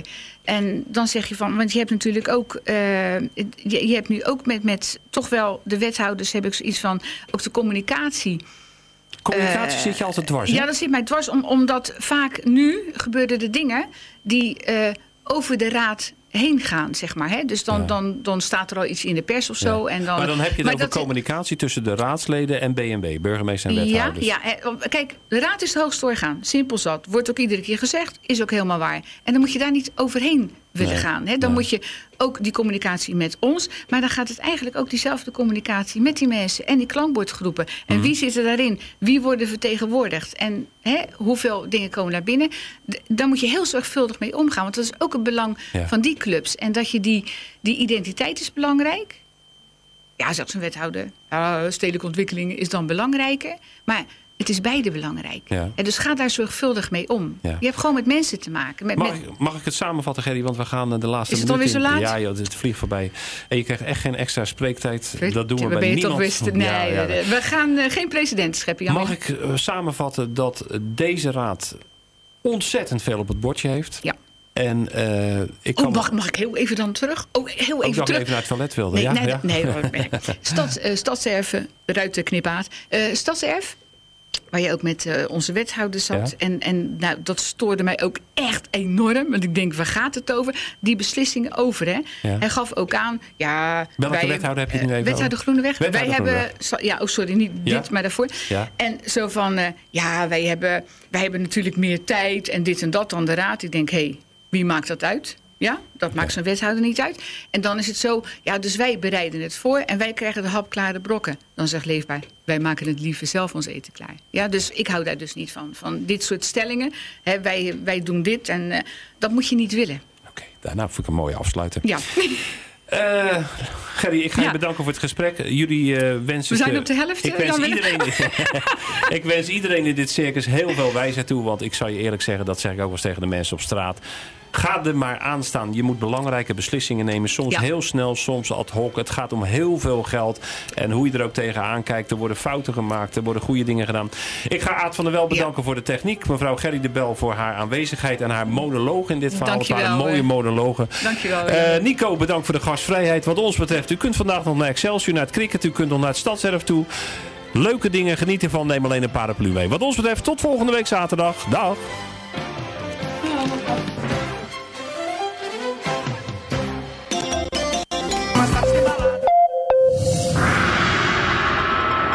Het CBR heeft het afgelopen half jaar aan zo'n 2300 bestuurders een alcoholslotprogramma opgelegd.